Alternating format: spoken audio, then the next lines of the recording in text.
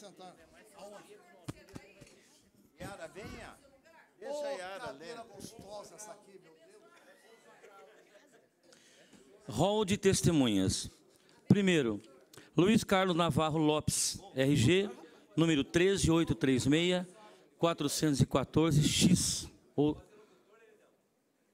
É, vou, vou tentar. Avenida São Valério, 440, Jardim Guedala, Sorocaba, São Paulo, CEP 05603-011. Fernando Marques da Silva Filho, RG número 3546628880. Rua João Tomé de Souza, 301, Vila Assis, Sorocaba, São Paulo, CEP 18025-177. Terceira testemunha, Jefferson Alves de Campos, RG número 1381257-6, Rua Américo Pellini, 44, Sorocaba, São Paulo. 4. Milton Leite da Silva, RG 9963-2731. Domiciliado na rua Vale do Jacuí, número 100, Vila Marquesa, CEP 04929-270, São Paulo, SP. Gilberto de Camargo Antunes, RG número 18663-9569, traço 9. Rua Romilda Peragalo, Aquaviva 123, Vanel Vire 5, Carolina Gonçalves Magoca, Rua Álvares de Azevedo, número 192, Vila Hortência, Sorocaba, São Paulo, CEP 18020-292.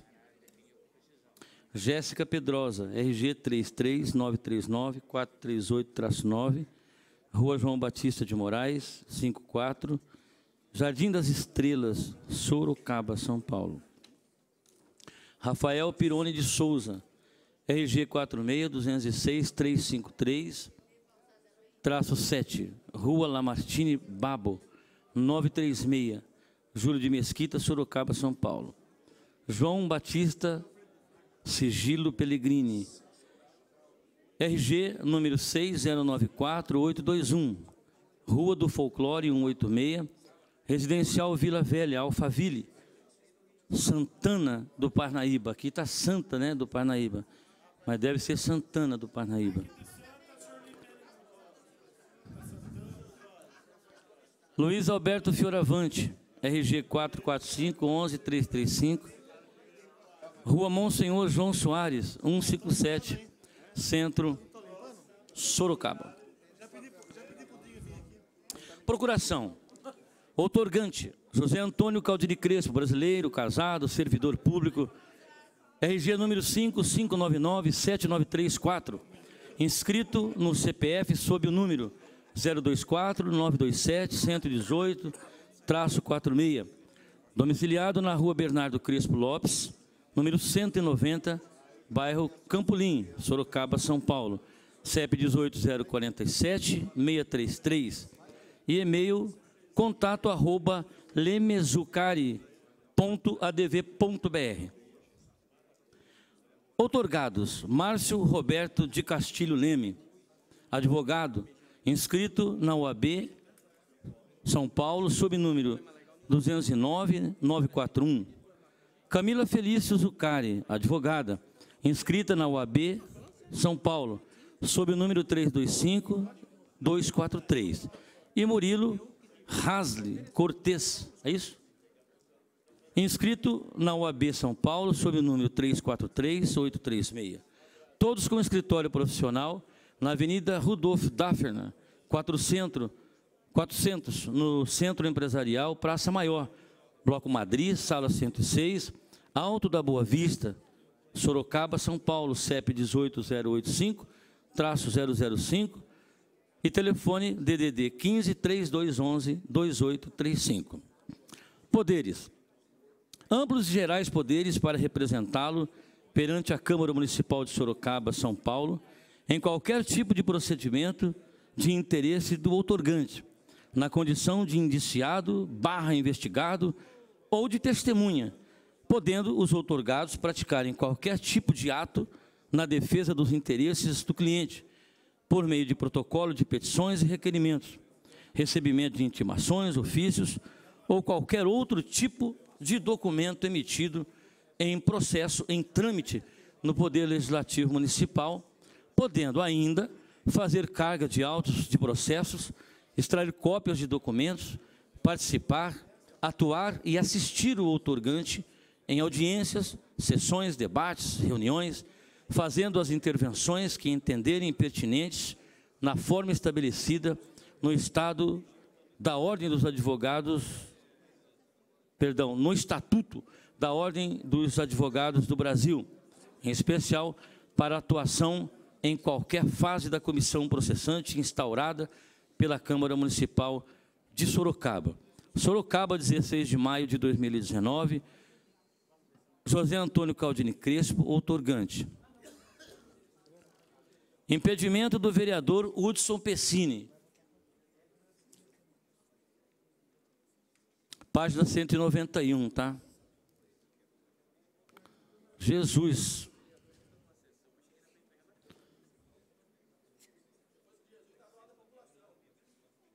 Complicado, né?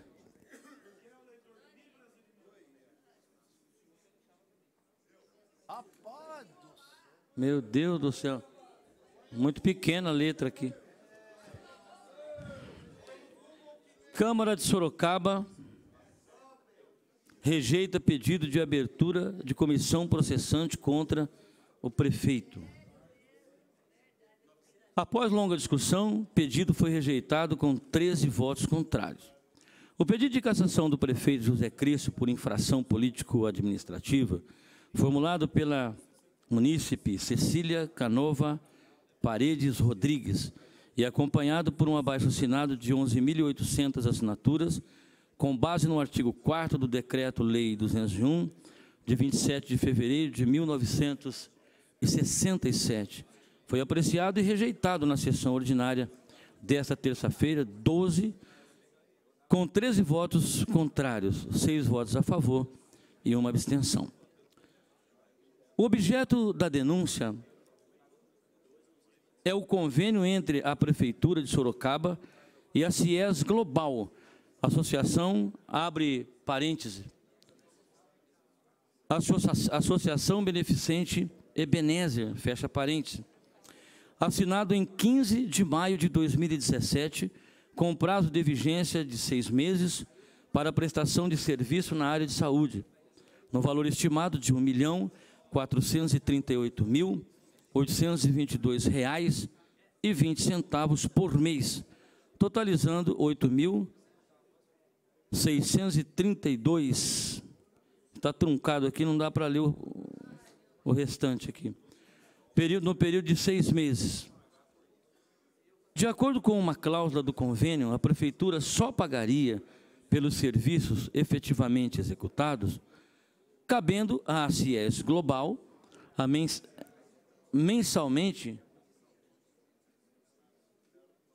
as faturas e os documentos referentes aos serviços devem ser efetivamente prestados.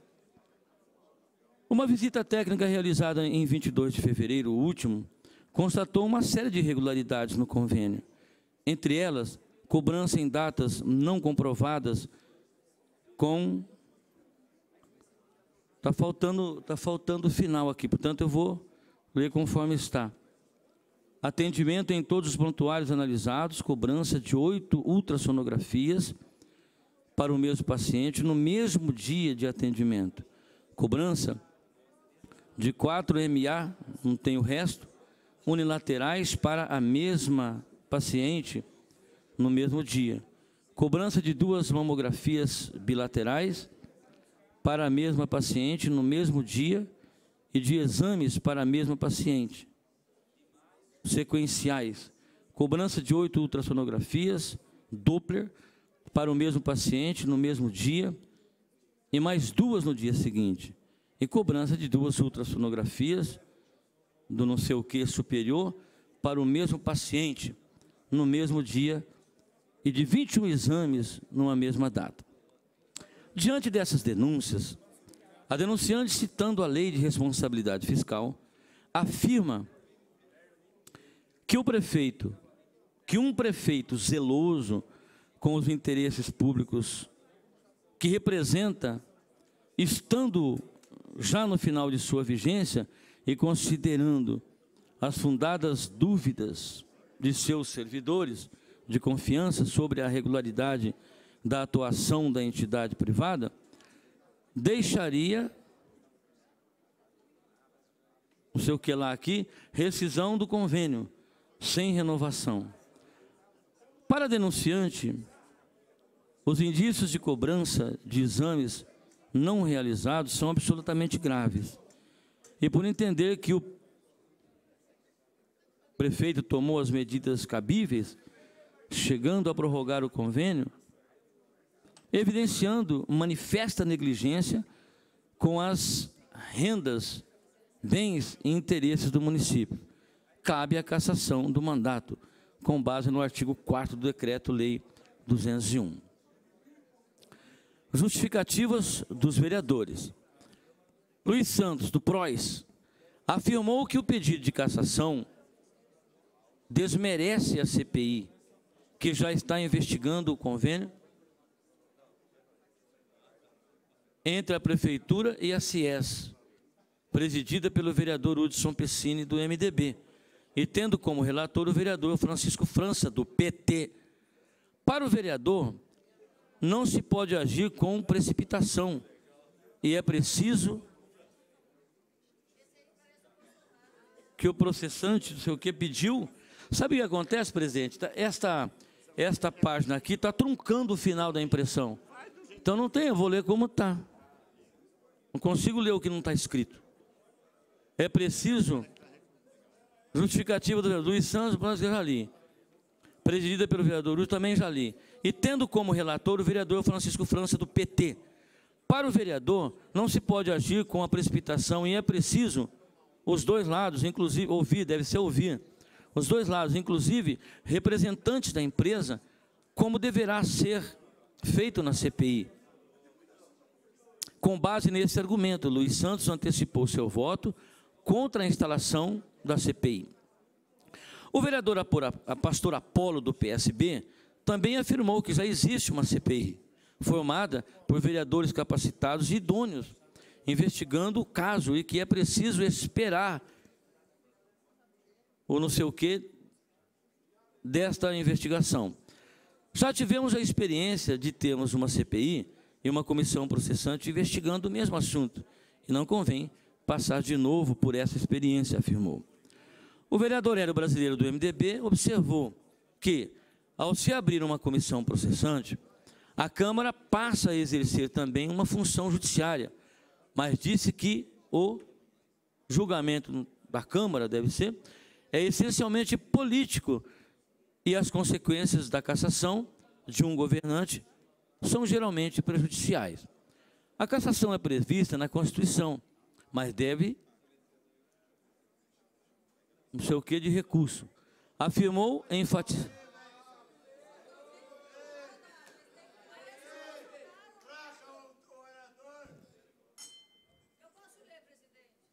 Se a senhora conseguir ler o que não está escrito, eu saio daqui. Eu não consigo ler o que não está escrito. Só a professora lê o que não está escrito. Por favor, senhor vereador, continue Eu lendo, vou ler o que está escrito, que não está escrito não tem gentileza, como eu ler. por gentileza, É, por favor. é, é. Mas o Lula é doutor honoris causa. É. O vereador Francisco França, do PT, defendeu a abertura da comissão processante, falou do Bolsonaro, eu posso falar do Lula, processante em virtude, segundo ele, da extrema gravidade das denúncias. O trabalho da CPI, da CPI confunde com o trabalho da comissão processante. Elas têm ritos e procedimentos diferentes, enfatizou o vereador. Em a parte, a vereadora Yara Bernardi, do PT, observou que o CIES Global não atingiu as metas de consultas e exames, inclusive de exame de mamografia, para o qual não houve autorização da vigilância sanitária. O vereador Péricles Regis, do MDB, enfatizou que o papel do vereador não é tampar é, buraco, está escrito tampar buraco e fazer assistencialismo, mas legislar e fiscalizar. Quando se fala em processante, tá pulou aqui, eu vou, ler, vou pular e ler. Não se está falando necessariamente de cassação do prefeito, mas em investigação. É somente após e somente após essa investigação que se vai caçar ou não o prefeito. É, que mais?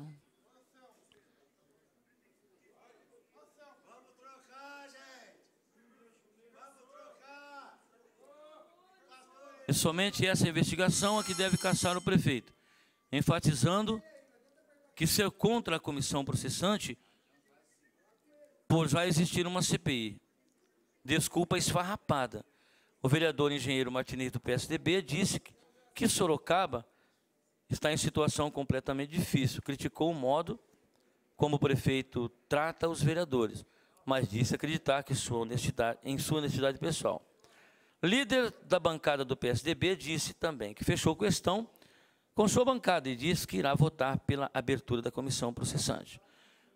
O vereador Irineu Toledo, eu, né, do PRB, líder do governo na casa, disse que o prefeito não pode ser culpabilizado. Eu não falei isso nunca, está escrito aqui, eu não falei isso aqui não.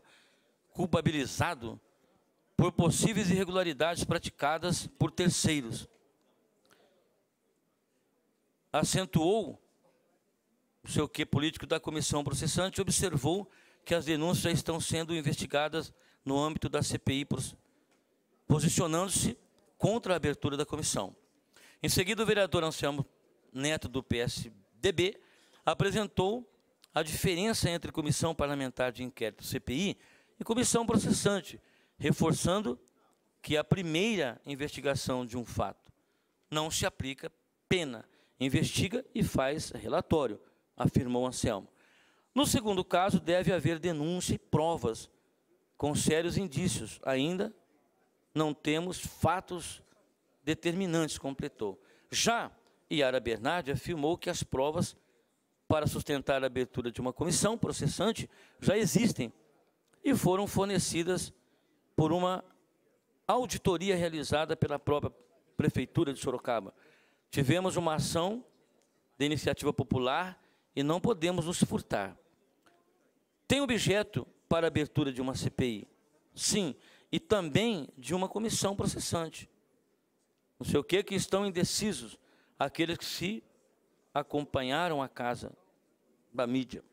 O vereador, o vereador lembrou que em março de 2017 todos os vereadores votaram contra um pedido da comissão processante. Isso mostra que somos sérios quando entendemos que, do ponto de vista jurídico, não tem fundamento de recusar e arquivar, argumentou. O presidente Rodrigo Manga, na época, anunciou voto contra a instalação da comissão processante, por já haver uma CPI tratando do mesmo assunto. Se por acaso a CPI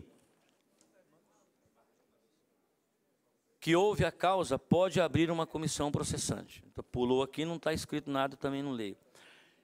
E não me satisfaço com a abertura da comissão processante antes de ser realizado um trabalho da CPI, que foi instaurada para investigar o caso. Fernando Dini, do MDB, no mesmo sentido, disse que, embora não concorde com muitos atos do Executivo, é contra a abertura da CPI, que pode virar uma banalidade na cidade de Sorocaba, afirmou. Por fim, Fausto Pérez, do Podemos, também declarou o voto não ao pedido. De forma coerente, vou votar contra a abertura da CPI. A CPI vai apontar os fatos em sua. E daremos o nosso voto para que casse se tiver que caçar. E doa a quem doer aqui nesta casa, concluiu. Após a votação, registrou 13, que registrou 13 votos contra, seis votos a favor e uma abstenção, o vereador Hudson Pessini justificou porque se absteve de votar. Fiquei sabendo que a votação poderia melar o trabalho da CPI, que eu presido. Os motivos pessoais são que hoje sou a namorada da vice-prefeita Jaqueline Eu sou namorado, né? Não é namorada, não é namorado. Para ficar isento, eu me abstenho. E sabia que não ia passar. Se dependesse do meu voto, com, a, com certeza eu votaria. Explicou. Vereadores rejeitam. Essa é uma matéria de jornal, né? Vereadores rejeitam a abertura de mais uma comissão processante contra o prefeito. Não sei que jornal é esse, mas tem uma página aqui. A Câmara Municipal de Sorocaba rejeitou nesta terça-feira, dia 12, a abertura de uma nova comissão processante para investigar o prefeito José Crespo do DEM, que poderia resultar em mais uma cassação do mandato do chefe do executivo. A denúncia havia sido feita pelo Movimento de Iniciativa Popular, MOVIP, por crime de responsabilidade, supostamente cometido pelo prefeito Crespo por não ter cancelado o contrato com a empresa CIES Global, diante de irregularidades constatadas pela própria prefeitura.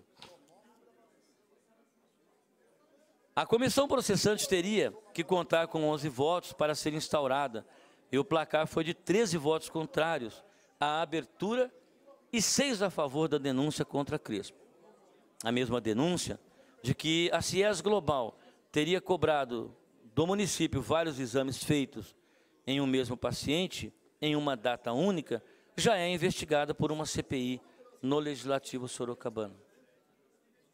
Votaram a favor da denúncia os vereadores José Francisco Martinez, do PSDB, Fernanda Garcia, aqui fala que é do PT, mas a senhora não é do PT, a senhora é do, do PSOL, né?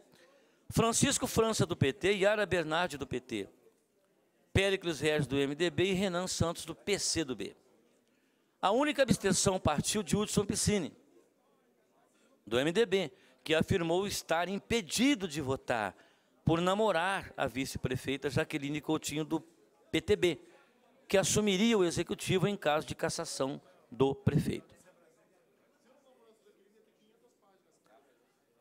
Página 100, folha 196, Tribunal de Justiça do Estado de São Paulo, Comarca de Sorocaba, Foro de Sorocaba, Vara da Fazenda Pública, Rua 28 de Outubro, 691, Sala 204, 206, 208, Alto da Boa Vista, CEP 18017 080, Fone 1532 285148, Sorocaba, e e-mail sorocaba faz arroba tjsp.jus.br. Horário de atendimento ao público das 12h30 às 19 Decisão. Processo digital número 103 244 103 2441 traço 64 ponto 2017.8.26.0602. Classe traço assunto. Mandado de segurança. Abuso de poder. Impetrante Anselmo Rolim Neto. Impetrado. Câmara Municipal de Sorocaba. Juiz de Direito, doutor, doutora Karina Jamengovac Pérez. Gemengovac Pérez. Vistos, cuida-se de mandado de segurança com pedido liminar impetrado pelo vereador Anselmo Rolim Neto, em face da Câmara Municipal de Sorocaba, na pessoa de seu presidente, vereador Rodrigo Mangaiato, devidamente qualificados nos autos.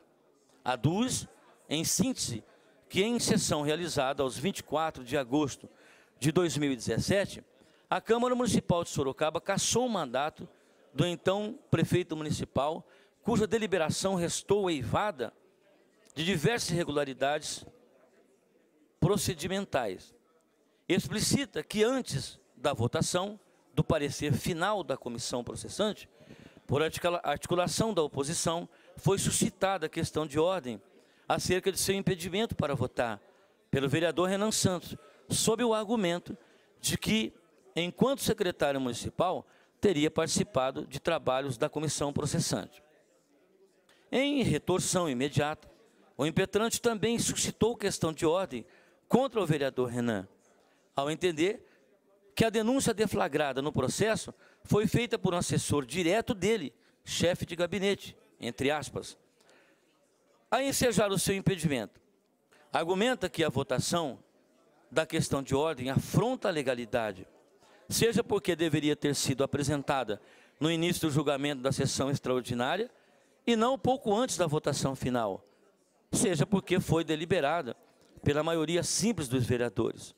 Não bastasse o impetrante, não bastasse, o impetrante foi tolhido do seu direito de votar, com fundamento em regra pretensamente prevista no regimento interno da Câmara Municipal, ao passo que o vereador Renan, que ao vereador Renan foi garantido o seu direito de voto em nítida afronta ao decreto-lei número 201/67. Afirma, no mais, que imediatamente foi convocado seu suplente para votar, o que culminou na cassação do prefeito. Dentro desse contexto, invocando direito líquido e certo, requer a concessão de medida liminar para que sejam suspensos os efeitos da 22ª sessão extraordinária da Câmara Municipal de Sorocaba, realizada aos 24 de agosto de 2017, e ao final, a concessão da segurança para anular a respectiva votação. Juntou documentos, entre aspas, folhas número 12/20. As folhas 21/44 foram colacionadas novos documentos, dentre eles a ata da sessão extraordinária, ora vergastada. É a síntese, é a síntese, decido. De proêmio, verifico que, agora para ler isso aqui, eu não vou ter que recorrer aos advogados, né? Que o. Como é que lê isso aqui, doutora? Dá nó na dentadura, não consigo. Isso aqui, doutor? Eu não falo inglês, né? Como é que lê isso aqui? Verifico que o. Right. O Right. right, escrito. Right. Isso. De proêmio, verifico que o right, o escrito, foi manejado erroneamente em face da Câmara Municipal de Sorocaba, quando, em verdade, deveria tê-lo sido contra a autoridade que emanou o ato tido como ilegal. Logo, determino ao impetrante que regularize o polo passivo no prazo de cinco dias, sob pena de extinção. Sem prejuízo, ao meu ver, prudente desde já o exame da tutela de urgência postulada, se não vejamos. Razão não assiste ao impetrante. Verde dos autos que o senhor prefeito da cidade de Sorocaba foi cassado por infração político-administrativa tipificada nos incisos 7, entre aspas, praticar contra expressa disposição de lei, ato de sua competência ou omitir-se na sua prática. Oitavo, entre aspas, omitir-se ou negligenciar na defesa de bens, rendas, direitos ou interesses do município sujeito à administração da prefeitura. E 10. Proceder de modo incompatível com a dignidade e o decoro do cargo.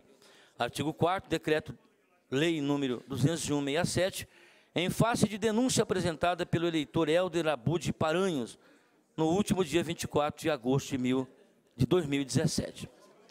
Importa ressaltar que o então prefeito da cidade de Sorocaba, dias antes da decisão da sessão designada para apuração das infrações político-administrativas, exonerou o secretário de Relações Institucionais e Metropolitanas, Anselmo Rolim Neto, então impetrante, nas folhas 16, entre aspas, permitindo desta feita o retorno às suas atividades desempenhadas como vereador eleito e, por conseguinte, sua participação na sessão legislativa outrora aludida. Ocorre que durante a sessão extraordinária, um dos vereadores questionou acerca do impedimento do vereador Anselmo Rolim Neto, ora impetrante, para votar. Eis que representou o senhor prefeito à época em oitiva à comissão processante, quando ouvido o secretário Hudson Giuliani, impedimento constante no artigo 65, 5 do regimento interno da Câmara dos Vereadores de Sorocaba. O fato foi confirmado na sequência pelo impetrante, justificando-se ao dizer que não houve manifestação formal perante a comissão. Pela leitura da ata da sessão, extrai-se que o impetrante foi consultado sobre a votação e solicitou a leitura do parecer jurídico emitido em relação à questão da ordem suscitada, de ordem suscitada, bem como que os impedimentos fossem colocados em votação individualmente, entre aspas, folhas 25. Assim procedeu-se aos 13 vereadores. Assim procedeu-se, e 13 vereadores votaram pelo impedimento do impetrante, ao passo que seis vereadores manifestaram-se contrariamente. Dentro desse contexto, foi chamado o suplente do vereador impetrante, o senhor João Paulo Nogueira Miranda, sendo certo que, ao cabo da votação, obteve-se maioria qualificada pela cassação do prefeito. Insurge-se apenas neste White, aprendi, tá vendo, Neto? Rapidinho para aprender, né? Cadê ele? Está ali. Insurge-se apenas que neste White, o impetrante contra o quórum de votação de seu impedimento, a sustentar a exigência de maioria qualificada, e não simples, bem como contra, não sei o que está escrito aqui, o momento em que foi suscitado o seu impedimento durante a sessão plenária, argumentando que deveria necessariamente ter ocorrido no início da sessão e não apenas momentos antes da votação do relatório final da comissão processante.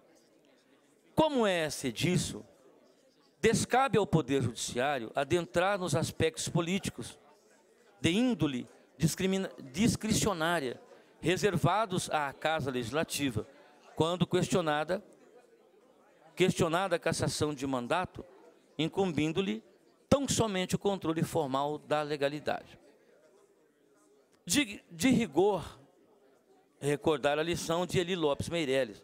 O processo e o julgamento das infrações político-administrativas competem exclusivamente à Câmara de Vereadores, na forma prevista na lei municipal pertinente, e os trâmites da acusação e da defesa devem atender não só aos preceitos das normas pertinentes, como às disposições regimentais da corporação, para a validade da deliberação do plenário.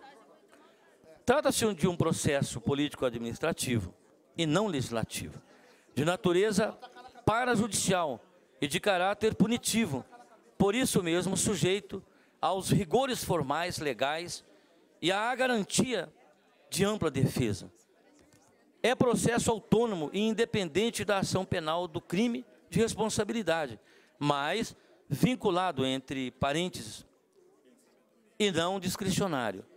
Às normas municipais correspondentes e ao regimento da Câmara quanto à tramitação e aos motivos ensejadores da cassação do mandato do acusado, pelo que se torna passível de controle judicial sob esses dois aspectos, ou seja, quando a regularidade do procedimento e a existência, quanto à regularidade do procedimento e a existência dos motivos. Meirelles, 2006, páginas 768 e 769. Fixada tal premissa, numa análise perfunctória, não vislumbra ofensa ao rito contido no decreto Lei 201, de 27 de fevereiro de 76, mormente ante a possibilidade de se declarar impedido o vereador, sobre o escolho do artigo 65, 5 do regimento interno da Câmara de Vereadores de Sorocaba, e ao chamamento do seu suplente, conforme dispõe expressamente o artigo 5 do referido diploma legal. Anoto outro sim, que o procedimento previsto nos incisos 5 e 6 do artigo 5 do Decreto-Lei 201, aplicável à sessão extraordinária de julgamento propriamente dita, foi observado. Nada obsta que o impedimento suscitado por um vereador ocorra ao final da sessão. Tanto o é que o mesmo expediente foi utilizado pelo impetrante em desfavor do vereador Renan dos Santos, conforme se lê na ata. No mais, a previsão legal do quórum de maioria qualificada de votação do artigo 5 6 do Decreto-Lei 201 é específica do julgamento da existência ou não das infrações político-administrativas.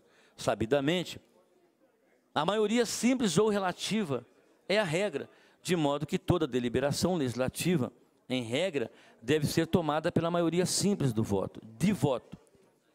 É o que se extrai do artigo 47 da Constituição Federal, entre, entre aspas. Salvo a disposição constitucional, em contrário, as deliberações da Casa e de suas comissões serão tomadas por maioria dos votos, presente a maior absoluta, a maioria absoluta de seus membros.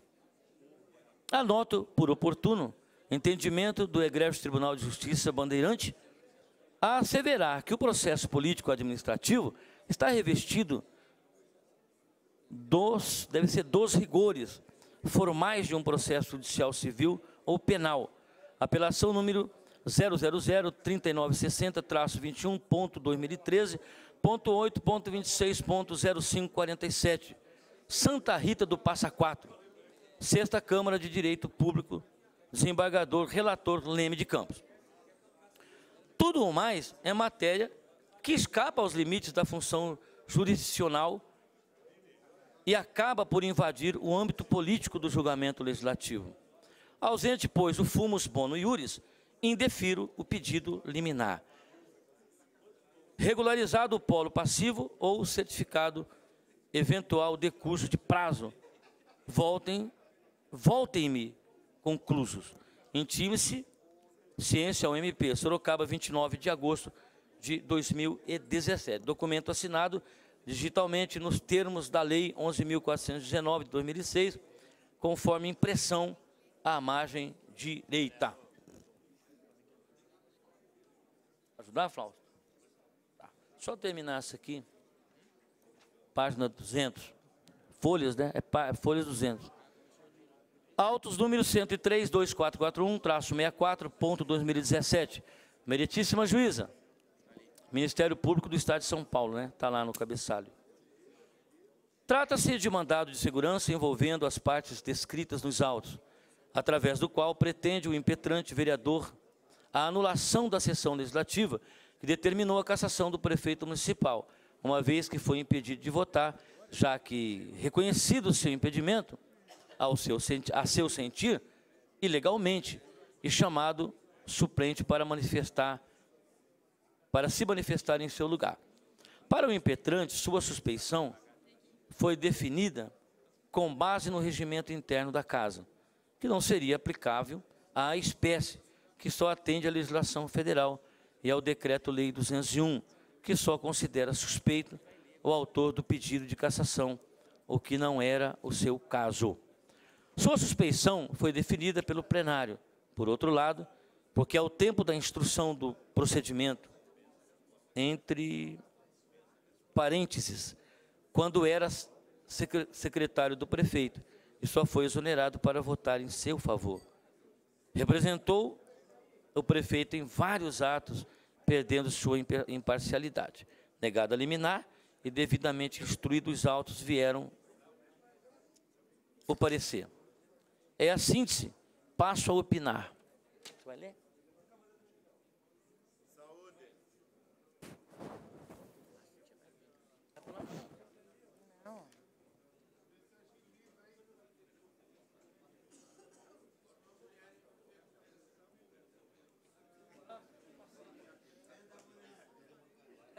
Primeiro, preliminarmente, carência do mandado de segurança.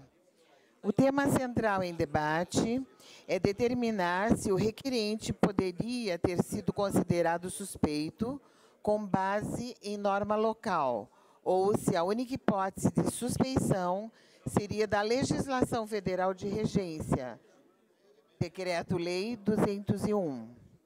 Penso, no entanto, que antes de se decidir sobre a norma aplicável para o cabimento, em especial de mandado de segurança,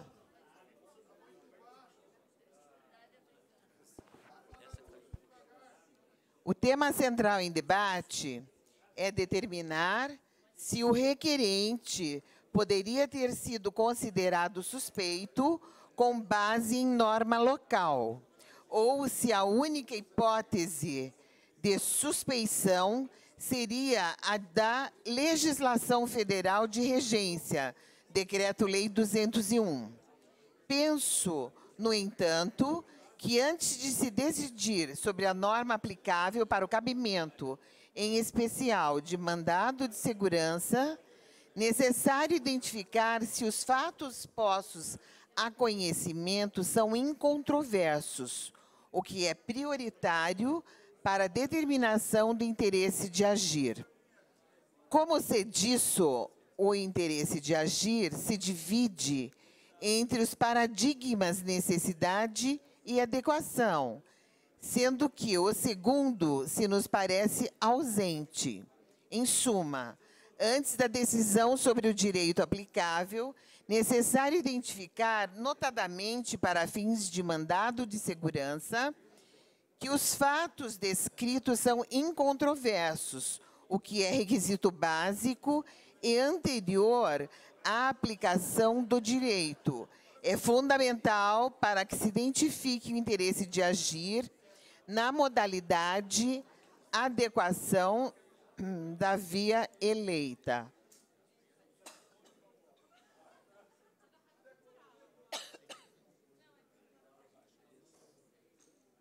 E quanto a isso, não temos segurança nos autos.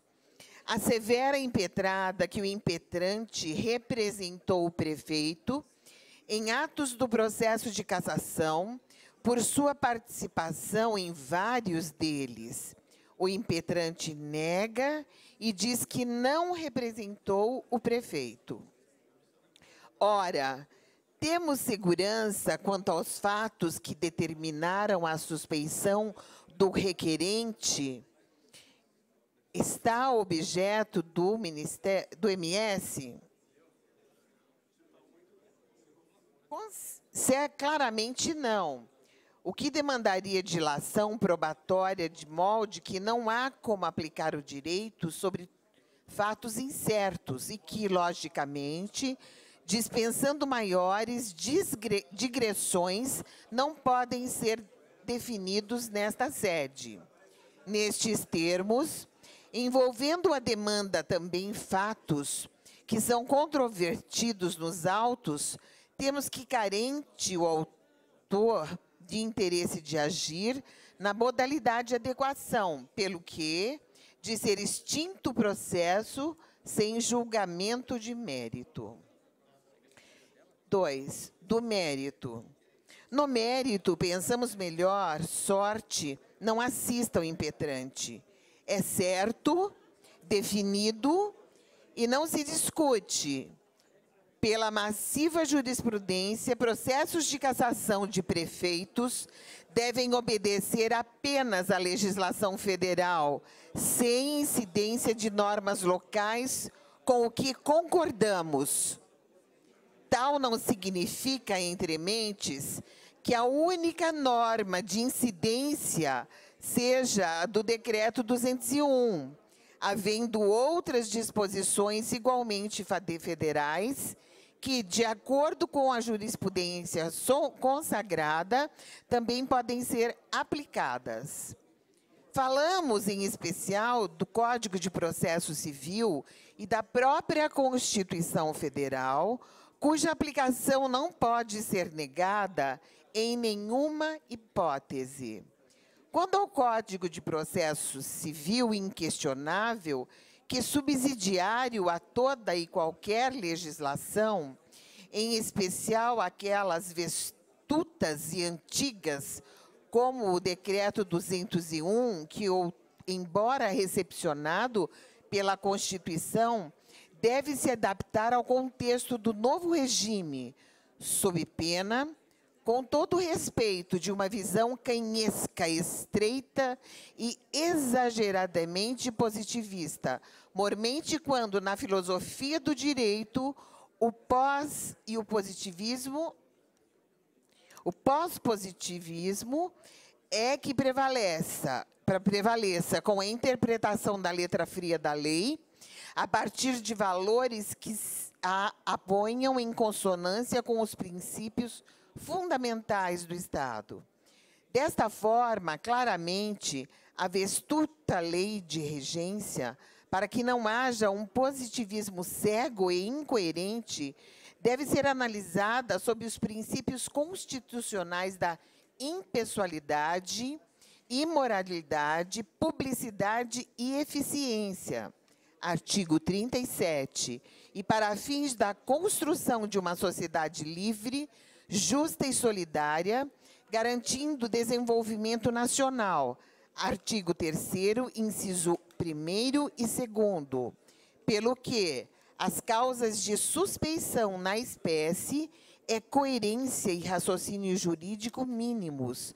Devem também observar as normas do Código de Processo Civil, igualmente legislação federal de incidência inquestionável, até porque, repetimos, subsidiária a qualquer legislação. Assim, a declaração de suspeição do requerente tenha qual tenha sido sua fundamentação formal, foi absoluta, total e completamente legítima, considerando não só o repúdio de uma legalidade estrita, mas os preceitos mais amplos que se impõem ao recepcionado decreto 201, descritos no Código de Processo Penal, no Código de Processo Civil, desculpe, e na Constituição Federal. O decreto 201 é uma legislação antiga e vestuta. Foi recepcionado pela nova Constituição, porém, sua aplicação não se dá independente de uma interpretação, conforme, inclusive, em relação ao bem mais moderno Código de Processo Civil. Nesses termos, conforme o CPC e mais em especial a Constituição Federal, ambas, logicamente, legislações federais, as hipóteses de suspeição de votantes não pode ser restringida, olvidando-se dos termos em que a legislação foi recepcionada, que só faz sentido se de acordo com o atual sistema. Em resumo, o que é DMV? Salvo melhor juízo? DMV. Em resumo, salvo melhor juízo, não faz qualquer sentido jurídico, moral ou ético dizer que o requerente foi considerado suspeito com base em lei local, quando a legislação federal, em especial o Código de Processo Civil e a Constituição Federal, exigem boa-fé, ética, moralidade e impessoalidade. Seja, pois, qual tenha sido a justificativa formal para a suspeição do requerente, tem ela o mais amplo amparo em legislação federal, em especial a lei maior, o que está de acordo com a jurisprudência prevalente. De fato, o impetrante não foi impedido de, votar por aplicação do regimento interno da Câmara Municipal de Sorocaba, mas pelos ditames bem postos do vigente Código de Processo Civil e Constituição Federal. A moralidade administrativa é princípio que se impõe. Realmente seria um escândalo aos valores da República, que não podem ser validados por visão ligeira e limitada de legislação antiga, admitir que secretário de governo, que participou em nome do prefeito dos atos de instrução do expediente de sua cassação e que depois foi exonerado para voltar à Câmara e votar em seu favor, pudesse votar em seu processo de cassação o que, com o máximo respeito, seria uma vergonha sobre qualquer aspecto moral que se analise, expondo a política brasileira a uma situação de deboche, principalmente quando justificada pela interpretação estrita de uma lei antiga, sem as modulações impostas pelo atual ordenamento. No mais, a decisão quanto ao impedimento foi tomada soberanamente pelo plenário da Câmara Municipal de Sorocaba, decisão esta que não pode ser revista, senão sob o aspecto formal, e formalmente nada se pode alegar de irregular. uma vez que a questão de ordem foi legitimamente levantada por parlamentar e legitimamente submetida a plenário, restando clara a impossibilidade de ingerência do judiciário, pena de ofensa ao princípio, entenda-se, valor fundamental da República de divisão de poderes. Por fim, absolutamente regular a convocação de suplente, que, no caso, estava apto a votar por ter acompanhado toda a sessão, já que as votações qualificadas levam em conta o número total de vereadores e não os presentes ou em condições de votar, o que significa que o integrante a menos da Câmara que não altera o quórum significa voto ao implicado, o que não pode ser admitido. Para votação qualificada, o quórum deve estar completo, pena de favorecimento por sua majoração. Para afastamento do prefeito, necessários dois terços da casa, e o número deve estar completo, seja qual tenha sido o motivo do afastamento, ou então o cálculo deve ser sobre o número de parlamentares presentes, o que não é da lei. Nenhuma irregularidade, pois, na complementação do número de votantes pelo impedimento de um parlamentar. Para isso mesmo servem os suplentes. Terceiro, conclusão.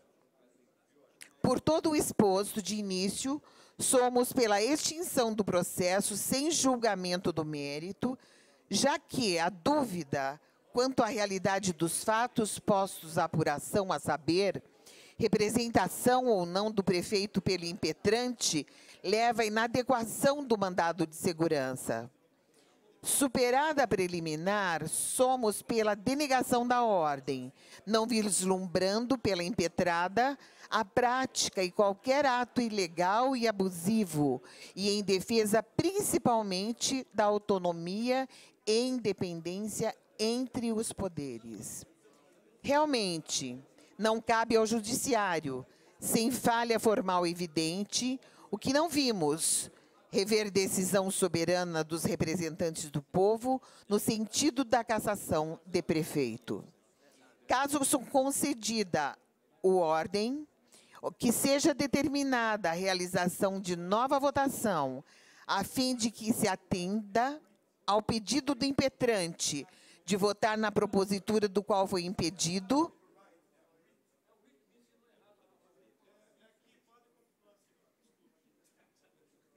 votar na propositura do qual foi impedido, principalmente porque, se nulidade existe, se refere ao ato final do expediente de cassação e não a seu todo que remanesce íntegro. Sob censura é o parecer Sorocaba, 26 de outubro de 2017, Orlando Bastos Filho, promotor de justiça. Câmara Municipal de Sorocaba. Sorocaba, 24 de agosto de 2017. Ao ilustríssimo senhor Rodrigo Manganhato, presidente da Câmara Municipal de Sorocaba, Fausto Pérez, comissão, presidente da comissão processante para a cassação do prefeito.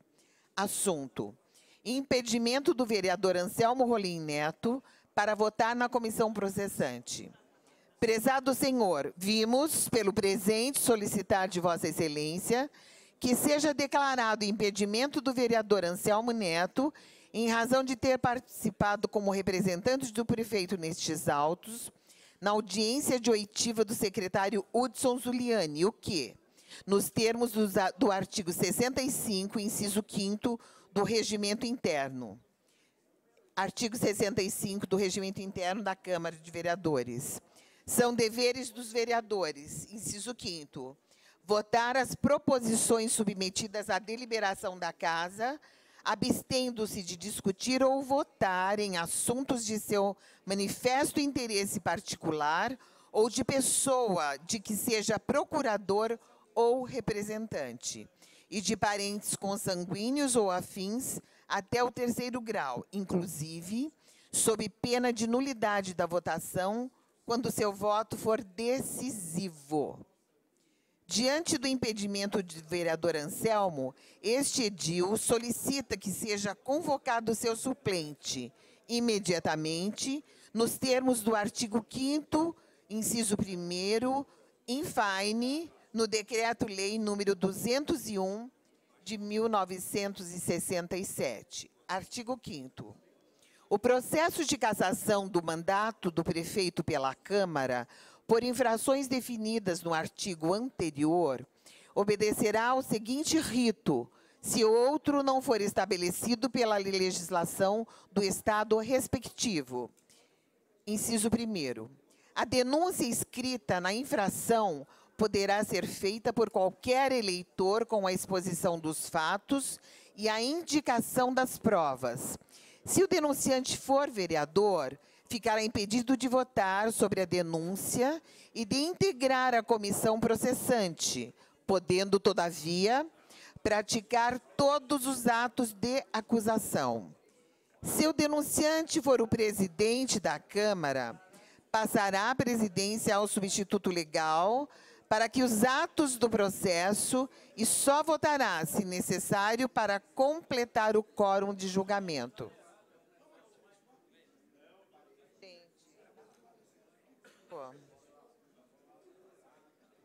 Será convocado o suplente do vereador impedido de votar, o qual não poderá integrar a comissão processante. Diante do exposto, requeremos seja emitido o parecer da Secretaria Jurídica desta Casa a respeito do tema, bem como a comissão processante, ouvida a defesa do prefeito, delibere sobre impedimento do vereador Anselmo Neto.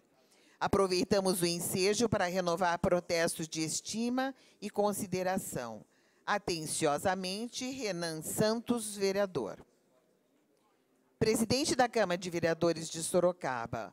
O vereador Renan dos Santos vem levantar questão de ordem, pois verifica-se a existência de flagrante parcialidade do vereador Anselmo Neto, pois participou ativamente do governo municipal como secretário de governo, o qual só retornou à Câmara de Vereadores para livrar o chefe do Poder Executivo de eventual cassação, com flagrante interesse pessoal.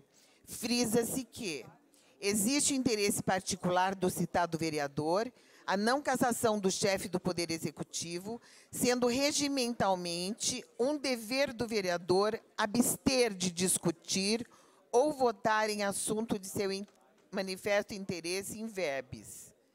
Artigo 65.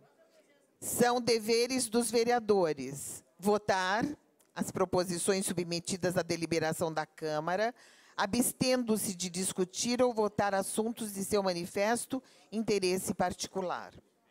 A questão aqui levantada já foi analisada pelo Tribunal de Justiça do Estado de São Paulo concluindo pela legitimidade do ato administrativo na convocação de vereadores suplentes, fica exclusivamente para votação da denúncia, face à parcialidade dos vereadores na função, traz-se a colação do acórdão do Tribunal de Justiça do Estado de São Paulo, que bem tratou da questão. Tribunal de Justiça de São Paulo, apelação 00131 685 201 482 60025 São Paulo 0001316 dígito 85 de 2014.8 260025 Tribunal de Justiça São Paulo. Data da publicação 25 de 11 de 2014. Ementa apelação civil, mandado de segurança, processo de cassação em face de vereadores, infração político-administrativa, recebimento da denúncia mediante a votação da maioria absoluta da Câmara Municipal de Angatuba.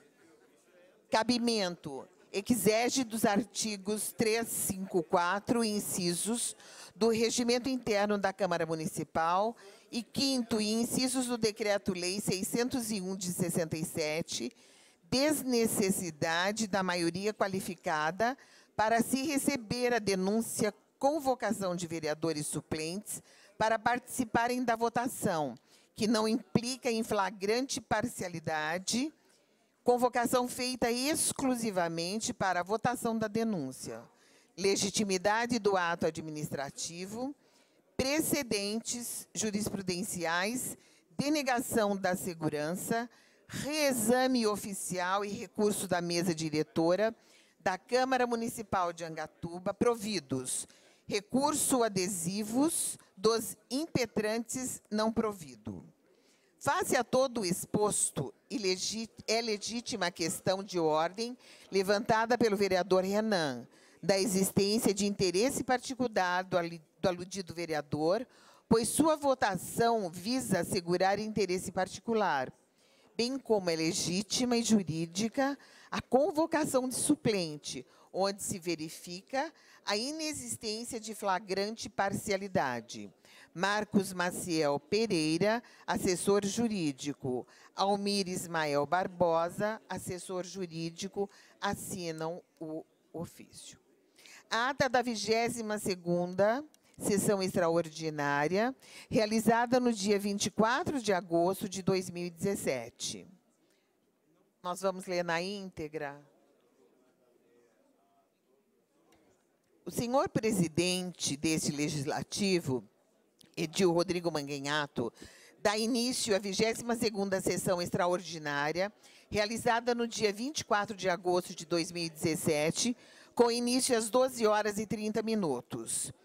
Sessão extraordinária, 22ª, feita a verificação de presença pelo painel eletrônico, Constatou-se que todos os edis estavam presentes, presente ainda a secretária jurídica desta edilidade, doutora Márcia Pegorelli Antunes, o assessor jurídico desta, doutora Almir Ismael Barbosa, e representando o excelentíssimo senhor prefeito municipal de Sorocaba, José Antônio Caldini Crespo, o doutor Ricardo Vita Porto que, indagado pelo presidente Rodrigo Manganhato, apresentou o instrumento de subestabelecimento com reserva de poderes, subscrito pelo doutor Vicente Fiuza Filho. Ordem do dia para a 22ª sessão extraordinária, realizada após a sessão ordinária 51 de 2017, às 12h30 horas, discussão única.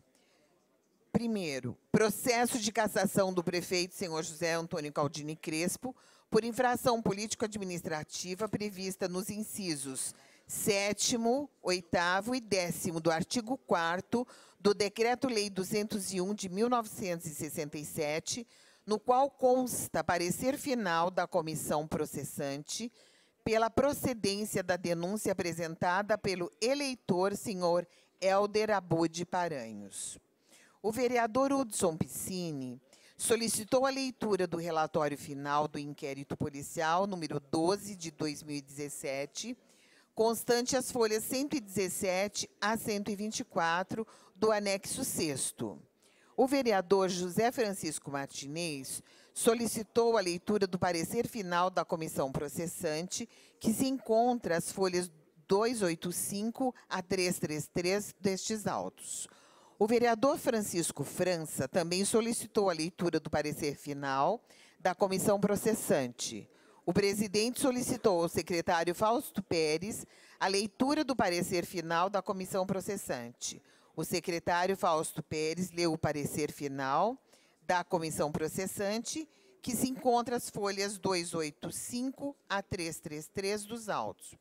O presidente solicitou ao segundo secretário, vereador João Donizete Silvestre, para proceder à leitura do relatório final do inquérito policial 12 de 2017, constante as folhas 117 a 124 do anexo 6 O segundo secretário efetuou a leitura.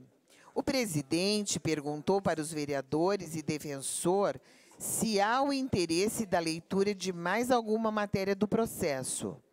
Não tendo resposta, o presidente concedeu a palavra aos vereadores para utilizarem os 15 minutos regimentais a que cada um tem direito. O vereador Vitor Alexandre Rodrigues questionou o fato de parte da população estar fora do plenário, enquanto os secretários estão dentro do mesmo. O presidente respondeu que, infelizmente, o plenário não comporta todos, mas que autorizou a presença da população no saguão desta idilidade, inclusive disponibilizando telão. Os vereadores, na sequência, fizeram uso da tribuna para suas considerações acerca do parecer pela cassação. Vitor Alexandre Rodrigues, Péricles Regis Mendonça de Lima, vereador Yara Bernardi, Hudson Piscine, Antônio Carlos Silvano Júnior, vereadora Fernanda Schlick Garcia, Francisco França da Silva, Vanderlei Diogo de Melo, Fausto Salvador Pérez, Renan dos Santos, Rodrigo Manganhato. Não havendo mais vereadores inscritos, o presidente Rodrigo Manganhato transmitiu a palavra ao procurador do excelentíssimo senhor prefeito municipal, doutor Ricardo Vita Porto, que fez uso da tribuna. O presidente Rodrigo Manganhato perguntou se algum vereador gostaria de utilizar o direito de réplica. Não havendo manifestação, o presidente Rodrigo Manganhato perguntou ao procurador doutor Ricardo Vita Porto se ele desejava utilizar o direito de tréplica. O doutor Ricardo respondeu que não.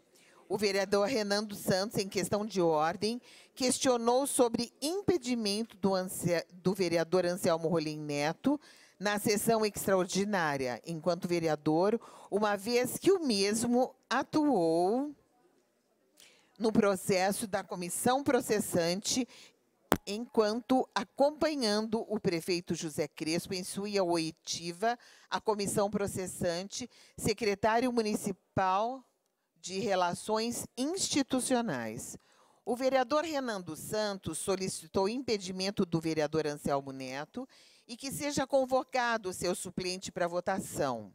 O vereador Anselmo Neto, em resposta, considerou que o vereador Renan quem está impedido de votar, já que foi chefe de gabinete do vereador Renan Santos, senhor Helder Abud Paranhos, quem foi o denunciante. O vereador Anselmo Neto expressou verbalmente o requerimento pela suspeição do vereador Renan dos Santos.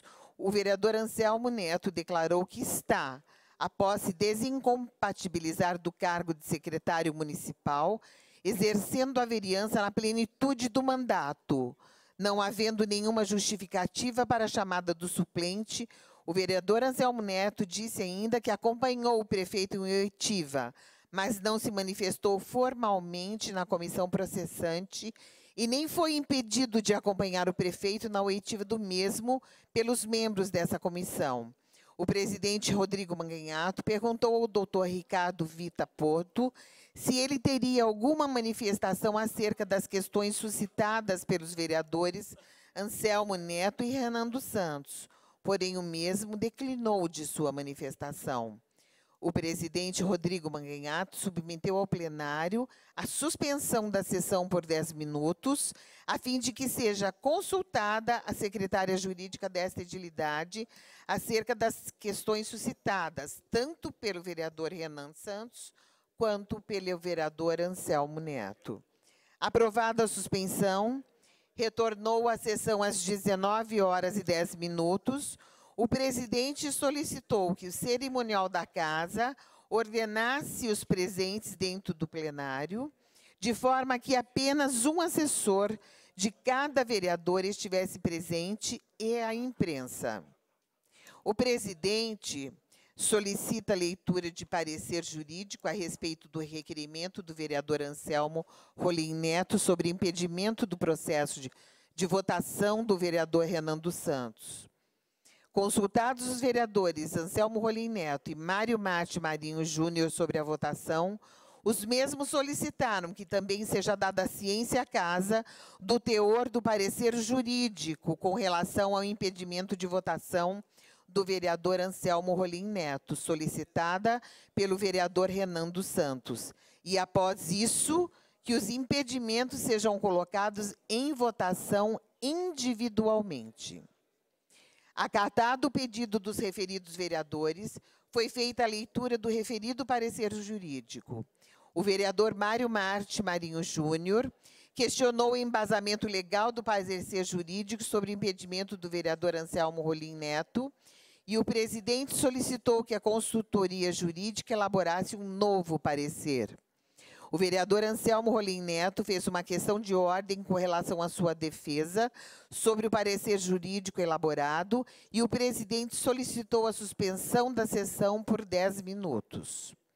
Às 19h30, para a elaboração de novo parecer sobre impedimento de votação do vereador Anselmo Rolim Neto. Retornou à sessão às 20 horas e 11 minutos. O presidente solicitou a presença de apenas um assessor por vereador e a imprensa. Feita a leitura do parecer jurídico complementar solicitado pelo vereador Mário Marte Marinho Júnior, foi aberta a discussão Baseado no artigo 109 do Regimento Interno, o vereador Mário Marte Marinho Júnior entregou ao presidente requerimento que demonstra interesse em interpor recurso pelo prazo de 10 dias.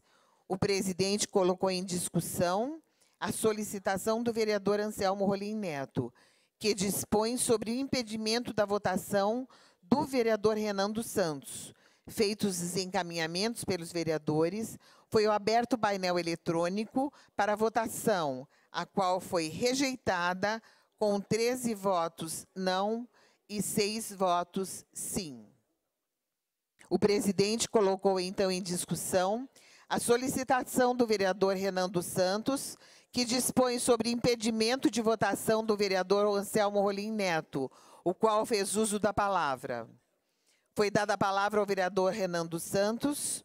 O vereador Anselmo Rolim Neto fez uma questão de ordem para um print que o vereador Renan dos Santos disse ter em sua pessoa, declarando seu voto.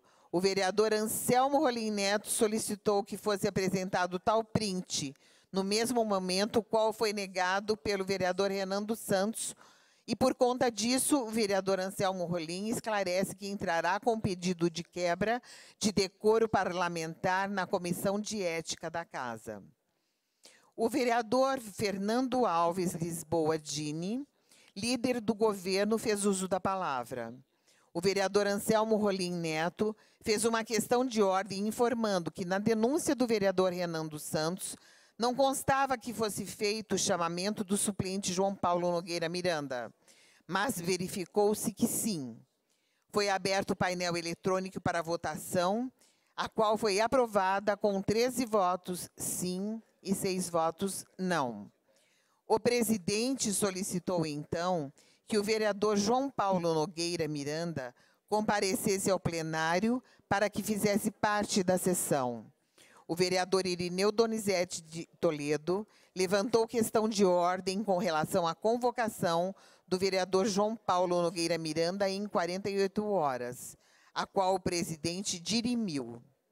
Foi solicitada a alteração do painel eletrônico para constar o nome do vereador João Paulo Nogueira Miranda. Porém, em virtude de inviabilidade técnica, não foi feito.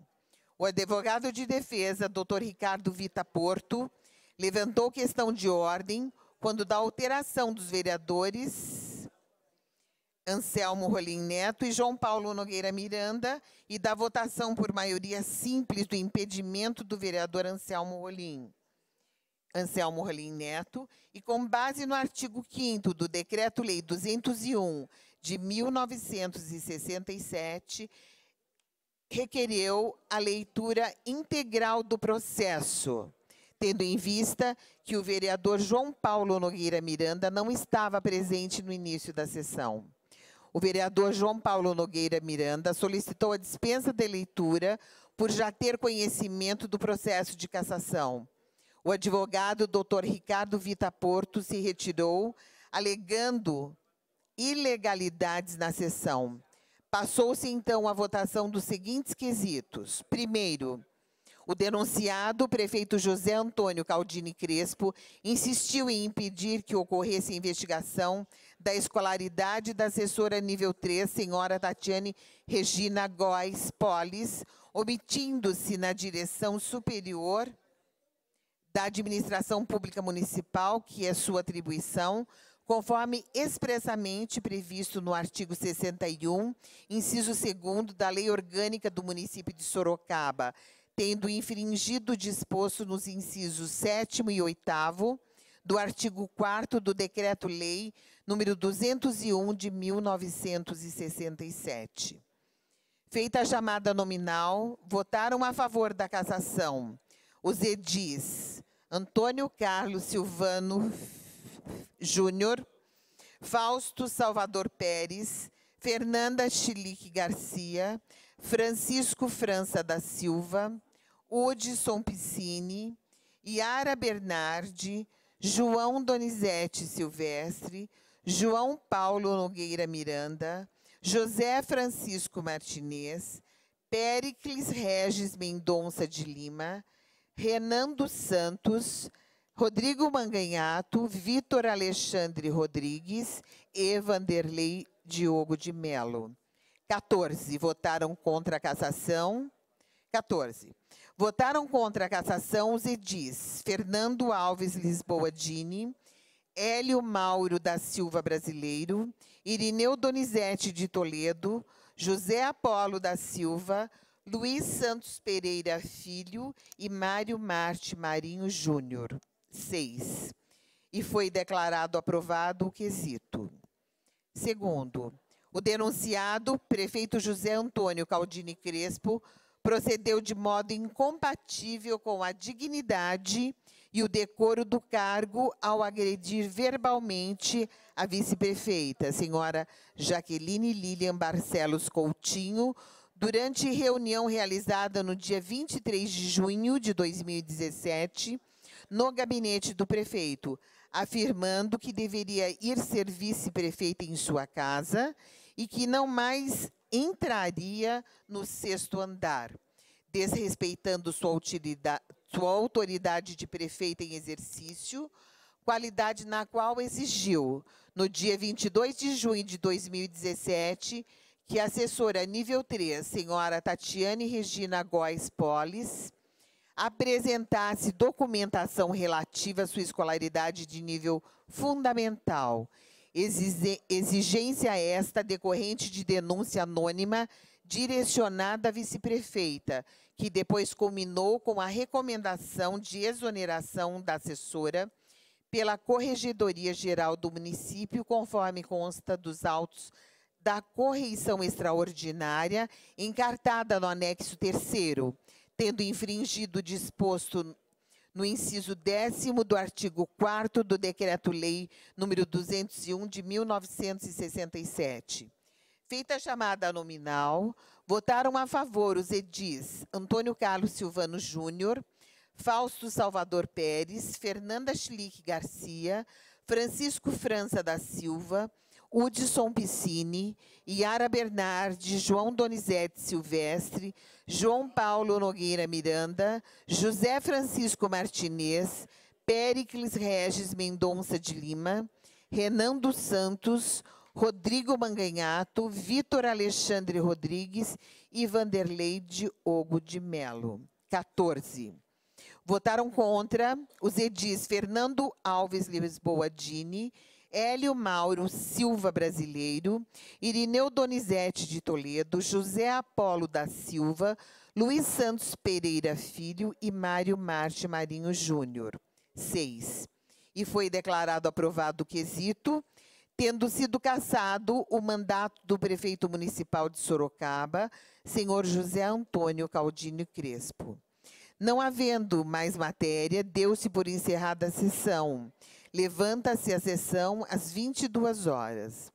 Assina o presidente Rodrigo Manganhato, o primeiro vice-presidente Irineu Donizete de Toledo, o segundo vice-presidente Luiz Santos Pereira Filho, o terceiro vice-presidente Hudson Pessini, o primeiro secretário Fausto Salvador Pérez, o segundo secretário João Donizete Silvestre, o terceiro secretário Péricles Regis Mendonça de Lima, os vereadores Fernanda Schlick Garcia, Yara Bernardi, Anselmo Rolim Neto, Antônio Carlos Silvano Júnior, Fernando Alves Lisboa Dini, Francisco França da Silva, Hélio Mauro Silva Brasileiro, João Paulo Nogueira Miranda, José Apolo da Silva, José Francisco Martinez, Mário Marte Marinho Júnior, Renan dos Santos, Vitor Alexandre Rodrigues e Vanderlei Diogo de Melo.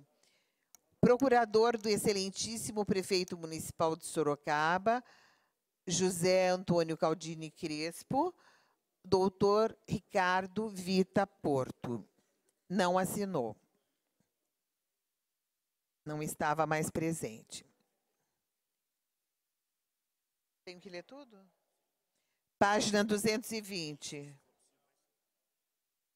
Kiko Palhato, Hudson Piscine, Jaqueline Coutinho e Thaís Romão. Comemorando política? Abril, dia 14 de 2019. Opinião Rafael Sarte, Sorocabano. No mesmo dia em que dois pedidos de cassação colocavam em risco Jaqueline Coutinho e José Crespo, dono da Rádio Ipanema e Jornal Ipanema, jantou com a vice-prefeita e seu namorado. Aliviada do pedido de cassação, reuniu os amigos e foi comemorar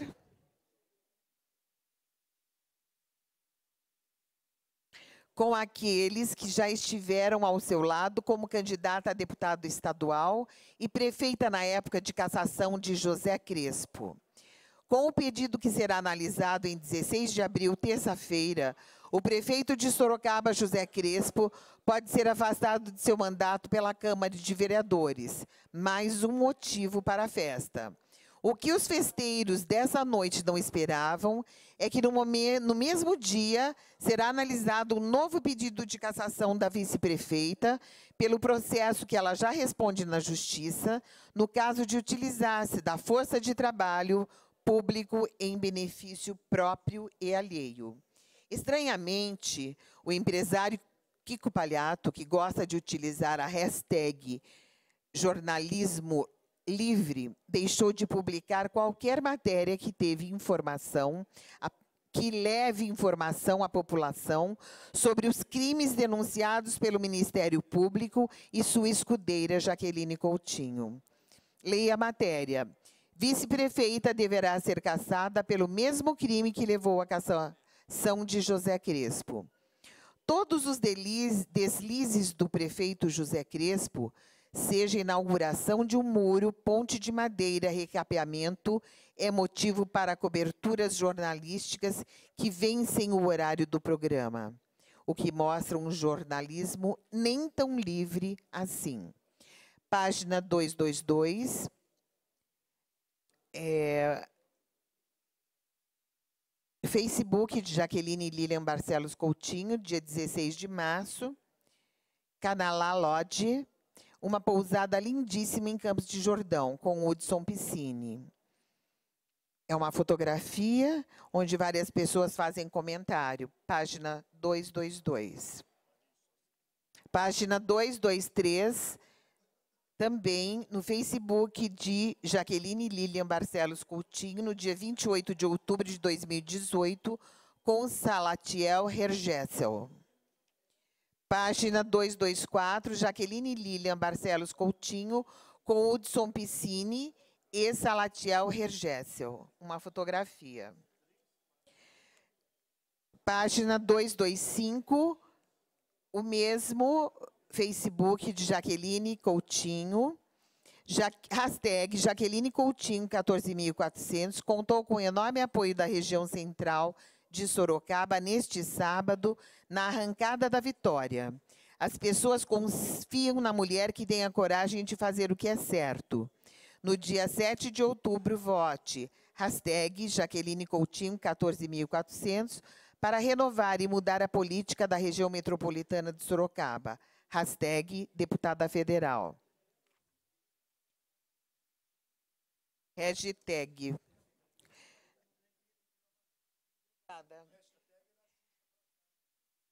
Eu não lembro dos da Xuxa, eu sou idosa.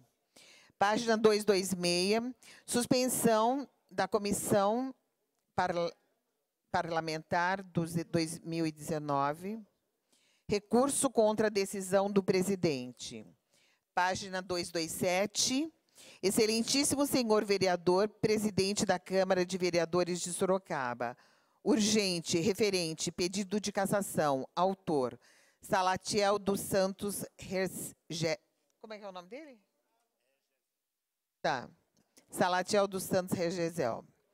Isso foi protocolado na Câmara Municipal de Sorocaba no dia 25 de abril de 2019, às 9 horas e 16 minutos.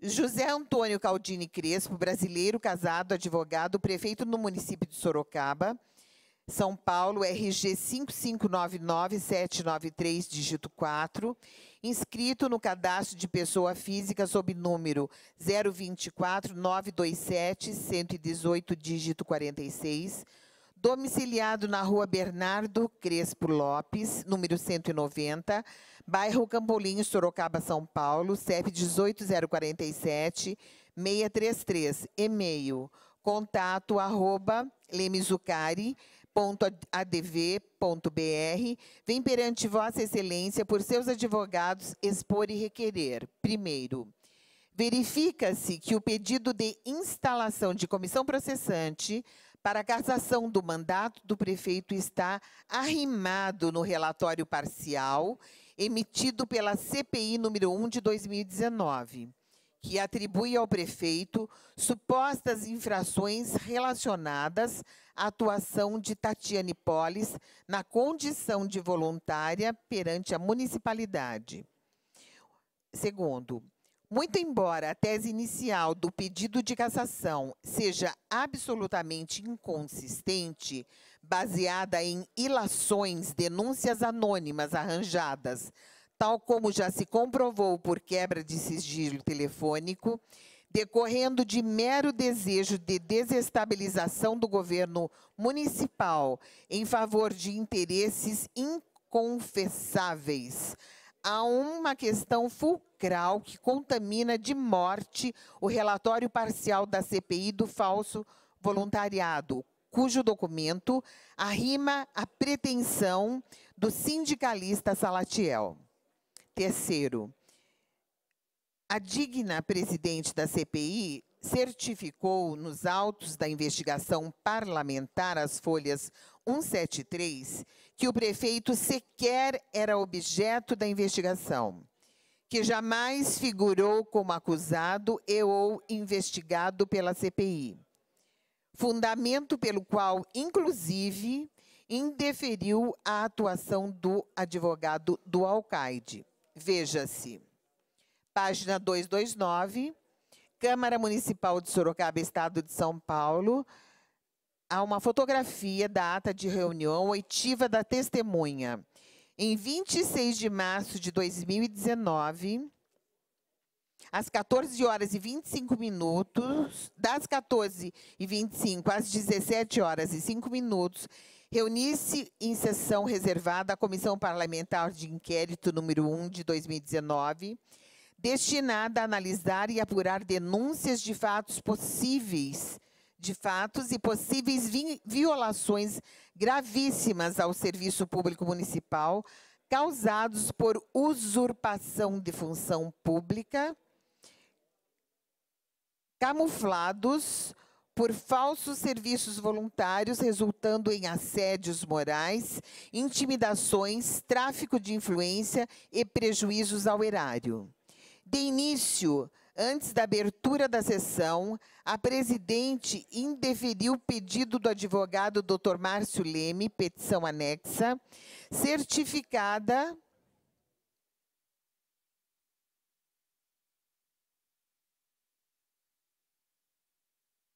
é uma é uma cópia que está bem borrada, por isso a dificuldade, me desculpe. Certificada nos autos para fim de afastamento da preclusão de acompanhar o início da sessão de oitiva como patrono do senhor prefeito municipal, por entender que, neste momento, o chefe do executivo não é parte interessada ou investigada e que a presença do advogado poderia prejudicar a oitiva das testemunhas, resultando que, posteriormente, após a juntada dos autos do arquivo digital e das transcrições, será dada a publicidade necessária. Quarto, Veja-se ainda o despacho da presidência de folhas 177 anexo. Quinto, e não bastasse isso, até a presente data, o prefeito municipal não foi intimado ou cientificado de que a investigação parlamentar teria sido redirecionada a ele, Portanto, aludido relatório parcial, que escora o pedido de cassação em tela, se trata de documento contaminado na sua origem, elaborado de maneira assodada, em desrespeito aos princípios comezinhos de direito. Por corolário lógico, se a digna presidente certificou no alto nos autos da CPI que o prefeito não figurava como investigado ou sequer parte interessada, igualmente não poderia, e em relatório parcial, atribuir a ele eventual imputação de infração político-administrativa. O que se revela, em verdade, é que a comissão parlamentar desrespeita os mais basilares princípios republicanos, atua arbitrariamente, empregando em seus trabalhos e em suas conclusões regras atípicas de estados ditatoriais, empregando perseguições tipicamente venezuelanas, o pseudo-relatório parcial, aliás, se trata de peça elaborada à sombra, no afogadilho e com propósito específico de amparar o presente pedido de cassação, subvertendo a ordem jurídica. Face ao exposto, considerando, sobretudo, o quanto exposto às folhas 173 e 177 dos autos da CPI, do falso voluntariado, por meio do qual restou consignado que o prefeito municipal jamais foi considerado investigado, acusado, revelando insuperável contradição com o relatório parcial que escora o pedido de cassação, ora formulado pelo sindicalista Salatiel. Requer a vossa excelência. A. A retirada de pauta ad cautelam do pedido de instalação da comissão processante ante a nulidade ora noticiada. B. Cientifique os vereadores dos fatos ora noticiados que implicam em nulidade absoluta do relatório parcial da CPI do falso voluntariado. C. Seja requisitado novo parecer jurídico da consultoria jurídica da Casa Legislativa D. Determine-se o arquivamento do pedido de instalação da comissão processante em razão do vício de origem, termos em que pedem deferimento. Sorocaba, 25 de abril de 2019. Assina Márcio Leme, OAB São Paulo 209.941. Camila Zucardi, OAB São Paulo 325.243 página 232. Excelentíssimo senhor vereador, presidente da Casa de Vereadores de Sorocaba. Recurso interno, referente a pedido de cassação. Autor Salatiel do Santo Regéssel. José Antônio Caldini Crespo, esse documento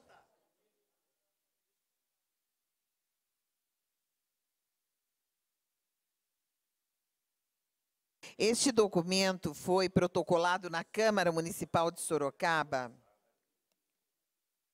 no, no dia 6 de maio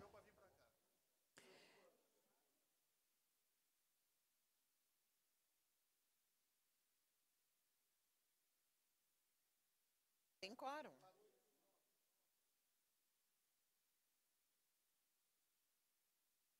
Atrás da feira?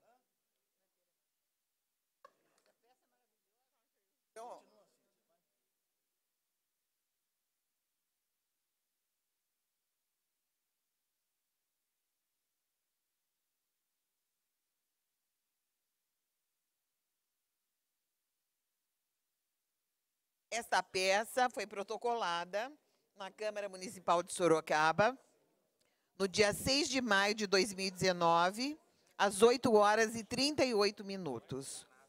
José Antônio Caldini Crespo, brasileiro, casado, advogado, prefeito do município de Sorocaba, São Paulo, RG 55 99793, dígito 4, inscrito no cadastro de pessoa física sob número 024 927 118 46, domiciliado na rua Bernardo Crespo Lopes, número 190, bairro Campolim, São Paulo, Sorocaba, São Paulo, CEP 18047-633, e-mail contato arroba lemesucari.adv.br. Vem perante Vossa Excelência por seus advogados e expor e requerer.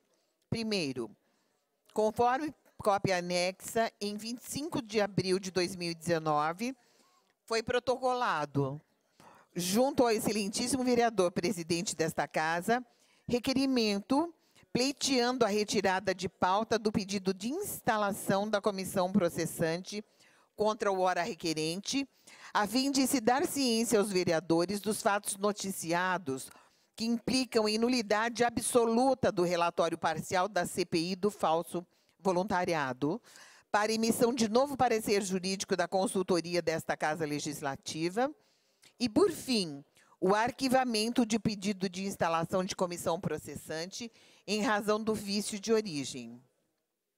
Entretanto, os pedidos foram indeferidos e o requerimento arquivado monocraticamente pelo vereador presidente. 2. Tais pedidos são calcados no fato de que resta claro e inequívoco que na CPI número 1 de 2019, a qual embasa a denúncia de cassação, o prefeito sequer era alvo de investigação, bem como jamais figurou como acusado e ou investigado pela CPI. Assim, conforme certificado às folhas de 173 dos autos da CPI mencionada. Assim, há uma questão fulcral que contamina de morte o relatório parcial da CPI do falso voluntariado, cujo documento arrima a pretensão do denunciante. 3. Destaque-se ainda que até a presente data o prefeito municipal não foi intimado ou cientificado de que a investigação parlamentar teria sido redirecionada a ele. 4. Portanto, frisa-se, o aludido relatório parcial que escora o pedido de cassação em tela, trata-se, página 234, de documento contaminado na sua origem, elaborado de maneira assodada, em desrespeito aos princípios comesinos de direito. Quinto, nesta esteira, o prosseguimento da comissão processante ao arrepio da lei certamente será objeto de intervenção, intervenção pelo Poder Judiciário, podendo decretar a nulidade de todos os atos até então praticados, movimentando desnecessariamente a máquina pública, gerando enormes prejuízos ao erário. Sexto, Cabe enfatizar que a denúncia foi recebida pelo plenário desta Casa e já foi instalada a comissão processante, bem como iniciados os trabalhos pelos vereadores integrantes da referida comissão. Sétimo, face ao exposto, considerando o quanto narrado, bem como o quanto exposto às folhas 173 e 177 dos autos, da CPI do falso voluntariado, por meio do qual resultou consignado que o prefeito municipal jamais foi considerado investigado acusado, revelando insuperável contradição com o relatório parcial, que escora o pedido de cassação ora formulado, requer a vossa excelência. A. Seja o presente recurso recebido, nos termos do artigo 1, 108 do Regimento Interno desta Casa de Leis, bem como o vereador presidente faça o juízo de retratação previsto no artigo 109, parágrafo único, deferindo os pleitos aqui elencados, notadamente para que seja anulada a votação que recebeu a denúncio, bem como seja arquivado o processo de cassação em andamento. B. Caso seja mantida a decisão, requer a remessa das presentes razões para julgamento pelo plenário desta Casa, nos termos do artigo 108, inciso 2 do Regimento Interno, pugnando pela procedência dos pedidos. Termos em que pedem deferimento. Sorocaba, 6 de maio de 2019.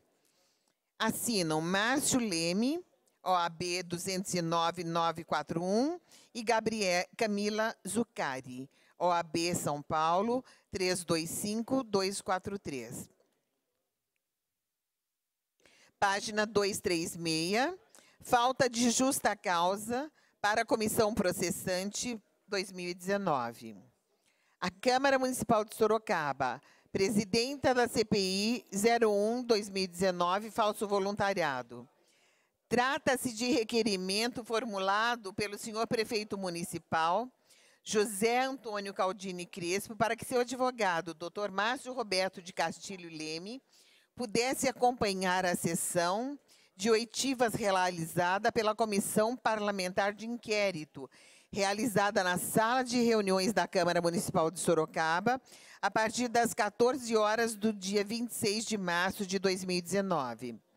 De início, antes da abertura dos trabalhos, o patrono solicitou oralmente à presidência a possibilidade de acompanhar as oitivas, o que restou indeferido pela, pelo entendimento de que o senhor prefeito não é parte interessada ou investigada neste inquérito parlamentar. Na sequência, vem protocolado solicitando o registro do protesto pelo indeferimento, bem como registro para fins de afastamento da preclusão, bem como solicitação de indeferimento de prazo de 48 horas para regularização de representação processual. É o relatório decido. A manutenção do sigilo da sessão de oitivas realizadas em 26 de março de 2019 se impôs, uma vez que essa presidência, enquanto autoridade máxima desta comissão parlamentar de inquérito entende que a presença do patrono do chefe do executivo poderia amedrontar os servidores públicos municipais convocados, o que afetaria de sobremaneira os trabalhos desta comissão. Desdarte, o artigo 7 inciso 11 do Estatuto da Ordem dos Advogados do Brasil, Lei Federal 8.906, de 4 de julho de 1994, permite que a autoridade competente nos procedimentos investigatórios delimite o acesso do advogado aos elementos de provas de diligências que ainda estejam em andamento, quando houver risco de comprometimento de eficiência ou da finalidade das diligências, o que poderia se verificar como mencionado acima. Tanto assim o é que não se visa negar o direito de defesa do, ao chefe do executivo, uma vez que após o encerramento das diligências será dado a publicidade devida aos atos realizados e acostados aos autos, de forma singular e em obediência aos termos da súmula vinculante número 14 do Egrégio Supremo Tribunal Federal. Ante o exposto, é de rigor a manutenção do sigilo das oitivas da sessão, realizada em 26 de março de 2019. Defiro prazo de 24 horas para regularização da representação processual. Informe-se ao requerente sala de reuniões, Sorocaba, 26 de março de 2019. Assina Yara Bernardi, presidente da comissão processante 01 de 2019. Recebeu em 28 de março de 19 às 10 horas e 33 minutos o doutor Márcio Roberto de Castilho Leme, OAB São Paulo 325243. Página 300 e 238. Tribunal de Justiça do Estado de São Paulo, comarca de Sorocaba, Foro de Sorocaba, Vara da Fazenda Pública. Rua 28 de outubro. Não precisa isso? Ah, tá. Decisão. Processo digital. 101, 1601, dígito 62 de 2019, dígito 8.260602. Classe, assunto, mandado de segurança civil, limites dos poderes de investigação, impetrante José Antônio Caldini Crespo e outro, impetrado vereador Yara Bernardi, PT, componente da Câmara Municipal de Sorocaba. Juiz de Direito, doutor Leonardo Guilherme Widman. Vistos. Entendo ausentes os requisitos necessários para a concessão da medida liminar pugnada pelos impetrantes. Prevê a Constituição Federal em, seu artigo, em seus artigos 5 133 e 58, parágrafo 3 Artigo 5 aos litigantes em processo judicial administrativo e aos acusados em geral são assegurados o contraditório e ampla defesa com os meios e recurso a ela inerentes. Artigo 133. O advogado é indispensável à administração da justiça, sendo inviolável por seus atos e manifestações no exercício da profissão, nos limites da lei. Artigo 58. O Congresso Nacional e suas casas terão comissões permanentes e temporárias constituídas na forma e com as atribuições previstas no respectivo regimento ou no ato de que resultar sua criação. Parágrafo 3 as comissões parlamentares de inquérito, que terão poderes de investigação próprios das autoridades judiciais, além de outros previstos no regimentos das respectivas casas, serão criadas pela Câmara dos Deputados e pelo Senado Federal, em conjunto ou separadamente, mediante requerimento de um terço de, seu de seus membros, para apuração de fato determinado e por prazo certo, sendo suas conclusões, se for o caso, encaminhadas ao Ministério Público para que promova a responsabilidade civil ou criminal dos infratores. Estamos na página 239. Por sua vez, prevê a Lei 8.906, de 1994, que dispõe sobre o Estatuto da Advocacia e a Ordem dos Advogados do Brasil, em seu artigo 7 o artigo 7 diz: são direitos do advogado, inciso 1, exercer com liberdade a profissão em todo o território nacional. Inciso 13, examinar em qualquer órgão dos poderes judiciário, legislativo ou da administração pública em geral, autos de processo findos ou em andamento, mesmo sem procuração, quando não estiverem sujeitos a sigilo ou segredo de justiça, assegurada a obtenção de cópias, com possibilidade de tomar apontamentos. Redação dada pela Lei nº 13.793, de 2019. Inciso 14 examinar em qualquer instituição responsável por conduzir investigação, mesmo sem procuração, autos de flagrante de investigações de qualquer natureza, findos ou em andamento, ainda que conclusos à autoridade, podendo copiar peças e tomar apontamentos em meio físico ou digital. Redação dada pela Lei número 13.243 de 2016.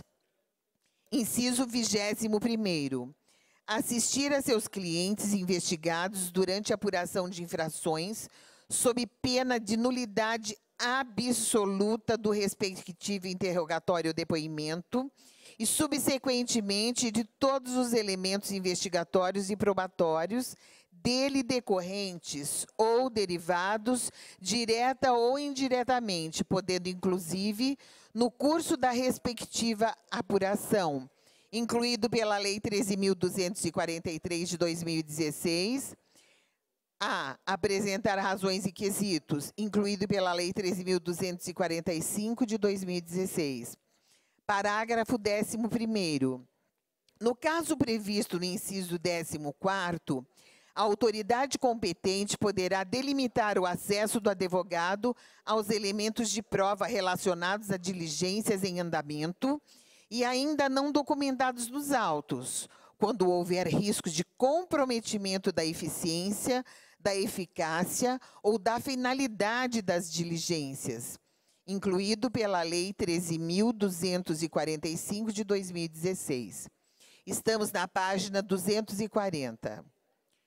Cotejando dispositivos legais acima transcritos, verifica-se, como se disso, que os órgãos de investigação parlamentar estão sujeitos às mesmas restrições e limitações impostas pelas normas legais e constitucionais que regem o devido processo legal, como, por exemplo, as prerrogativas profissionais previstas no artigo 7 da Lei 8.906, de 1994, garantindo-se ao investigado a possibilidade de ver-se acompanhado de seu advogado durante o procedimento investigatório, bem como ao advogado o direito de pleno acesso ao inquérito, mesmo que sujeito a regime de sigilo desde que se trate de provas já produzidas e formalmente incorporadas ao procedimento investigatório.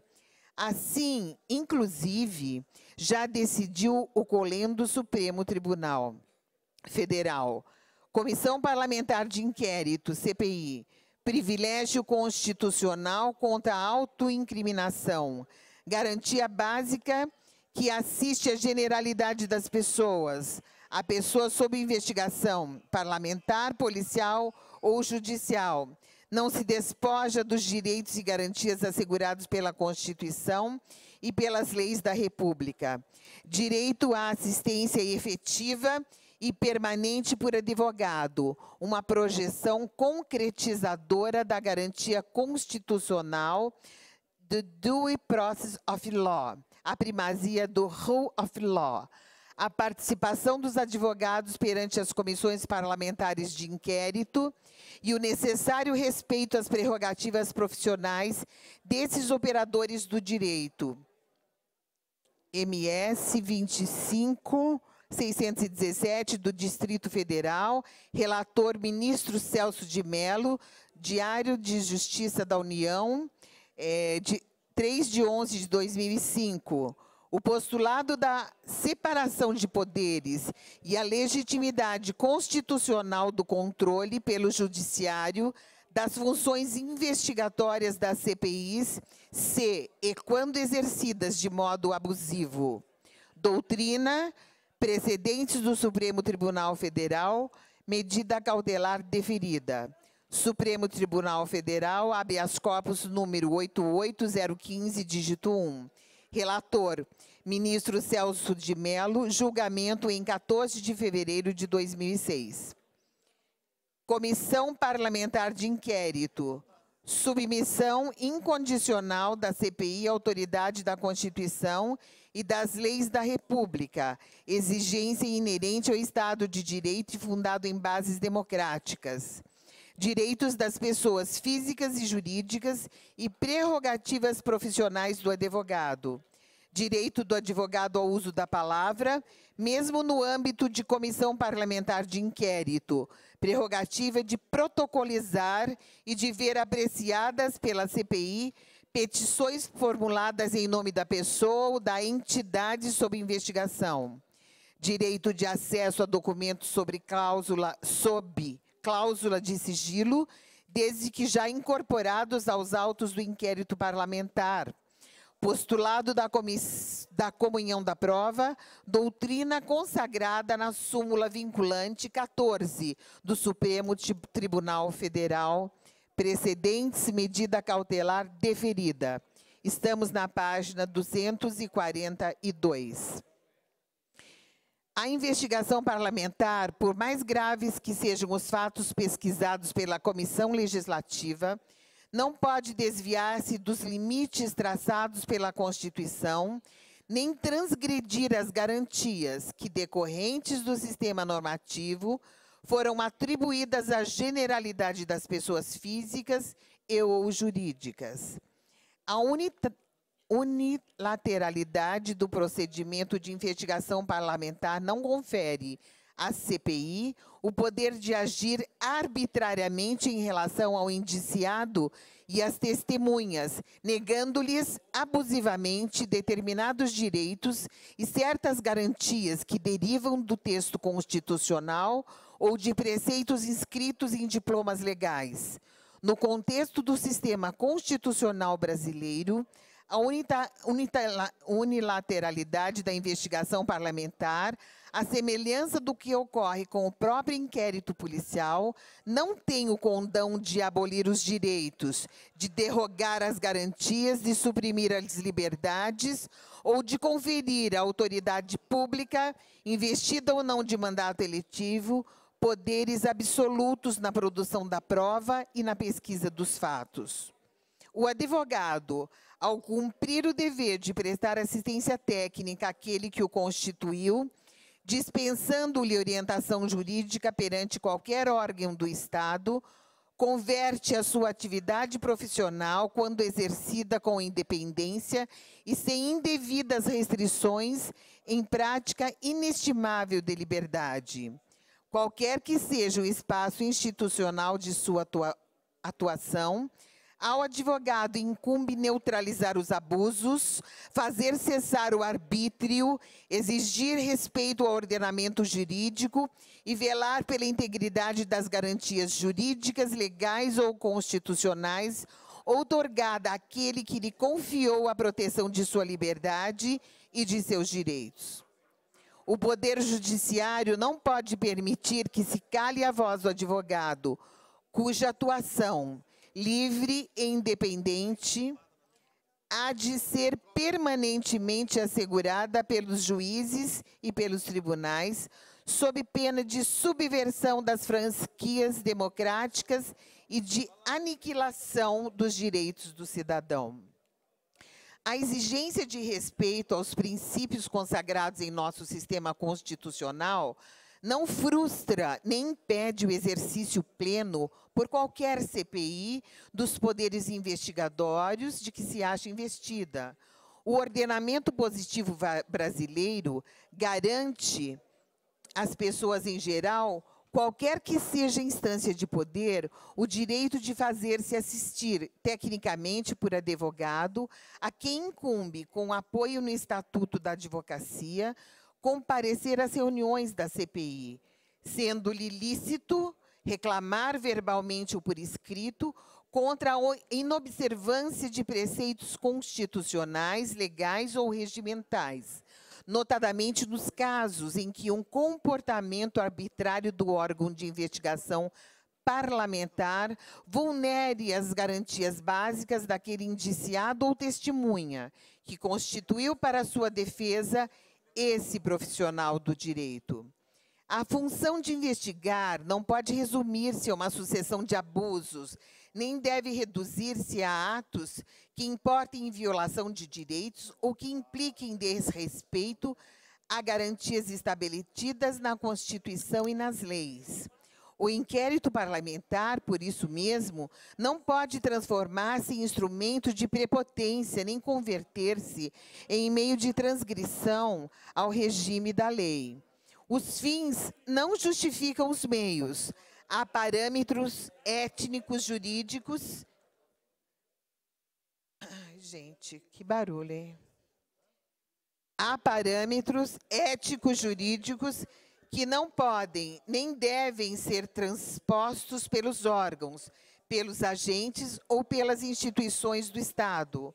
Os órgãos do poder público, quando investigam, processam ou julgam, não estão exonerados do dever de respeitar os estritos limites da lei e da Constituição, por mais graves que sejam os fatos cuja prática tenha motivado a instauração do procedimento estatal.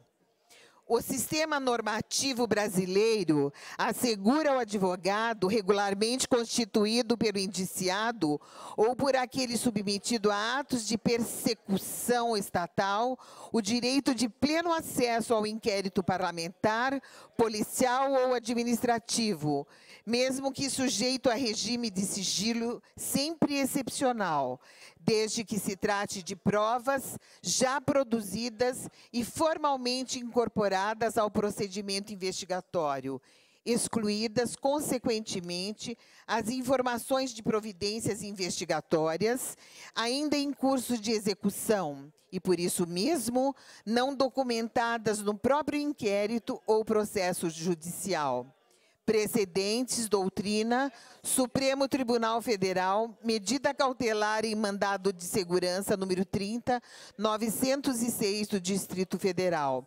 Relator, ministro Celso de Mello, julgamento em 5 de outubro de 2011.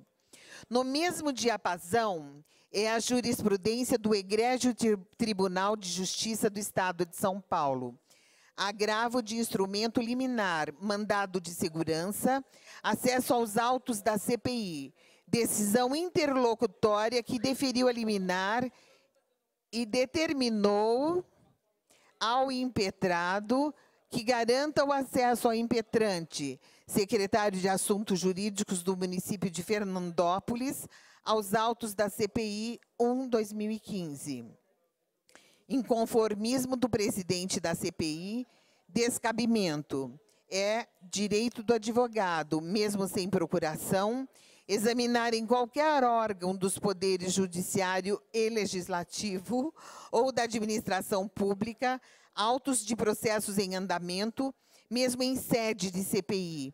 A inteligência do artigo 7 da Lei Federal número 8906 de 2004. Precedentes do autor, a STF, ademais não merece guarida o argumento de que o oitiva das ex-secretárias de Educação da Prefeitura ocorrera em caráter reservado para o fim de preservar provas e a própria administração, porquanto o próprio agravante admite que as depoentes não mais compunham, à época da CPI, o quadro da administração e já haviam até fornecido informações relativas ao depoimento à imprensa local. Caráter reservado, injustificado. Decisão mantida. Recurso desprovido. Tribunal de Justiça do Estado de São Paulo. Agravo de instrumento número 21 405 18, dígito 84, 2015 826 0000. Décima terceira Câmara de Direito Público. Relator, desembargador Espoladori Domingues. Julgamento em 6 de abril de 2016.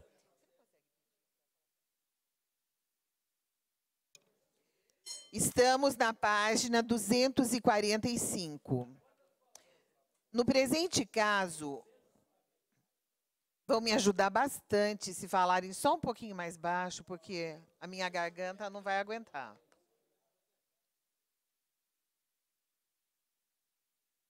Pois não.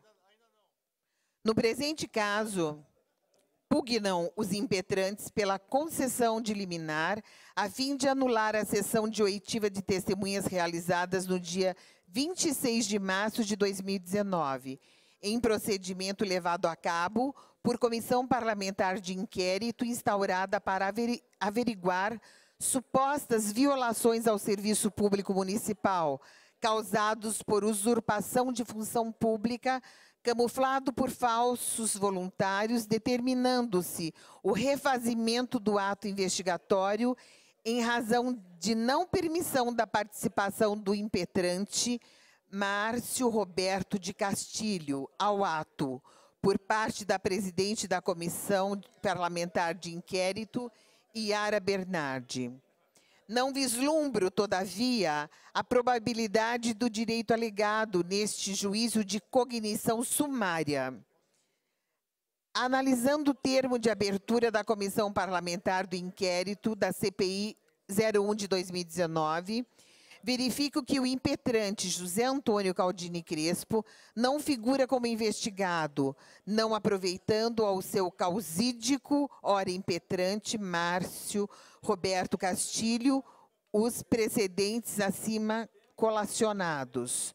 De outra banda, e não obstante a possibilidade de a conclusão da mencionada comissão parlamentar de inquérito reverberar sobre a atuação do chefe do Poder Público Municipal, verifico que, no presente caso, houve decreto de sigilo das investigações por parte da presidente da Comissão Parlamentar de Inquérito, folhas 49 e 52, devidamente fundamentado, delimitando a participação de acesso de advogados aos elementos de provas e diligências em curso, na forma do artigo 7 parágrafo 11º da Lei 8.906 de 1994.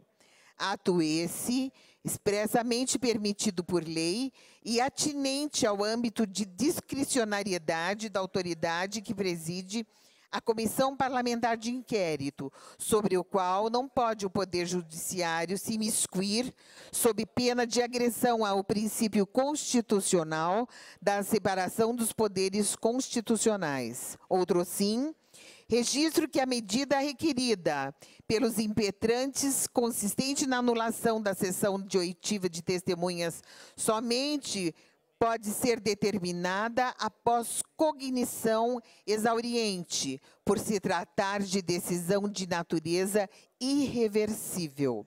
Estamos na página 246. Por fim, não se vislumbra risco a direito dos impetrantes a obstar o prosseguimento dos trabalhos da Comissão Parlamentar de Inquérito nos termos da fundamentação anteriormente expedida Diante do exposto, indefiro a liminar postulada pelos impetrantes. Notifique-se a autoridade coautora para que preste informações no decêndio legal, Lei 12.016 de 2009, artigo 7 inciso 1 Desse ciência do feito ao órgão de representação judicial do município de Sorocaba, enviando-lhe cópia da inicial, para que, querendo, ingresse no feito. Artigo 7 inciso 2 da Lei 12.016 de 2009. Fim do prazo de 10 dias, prestadas as informações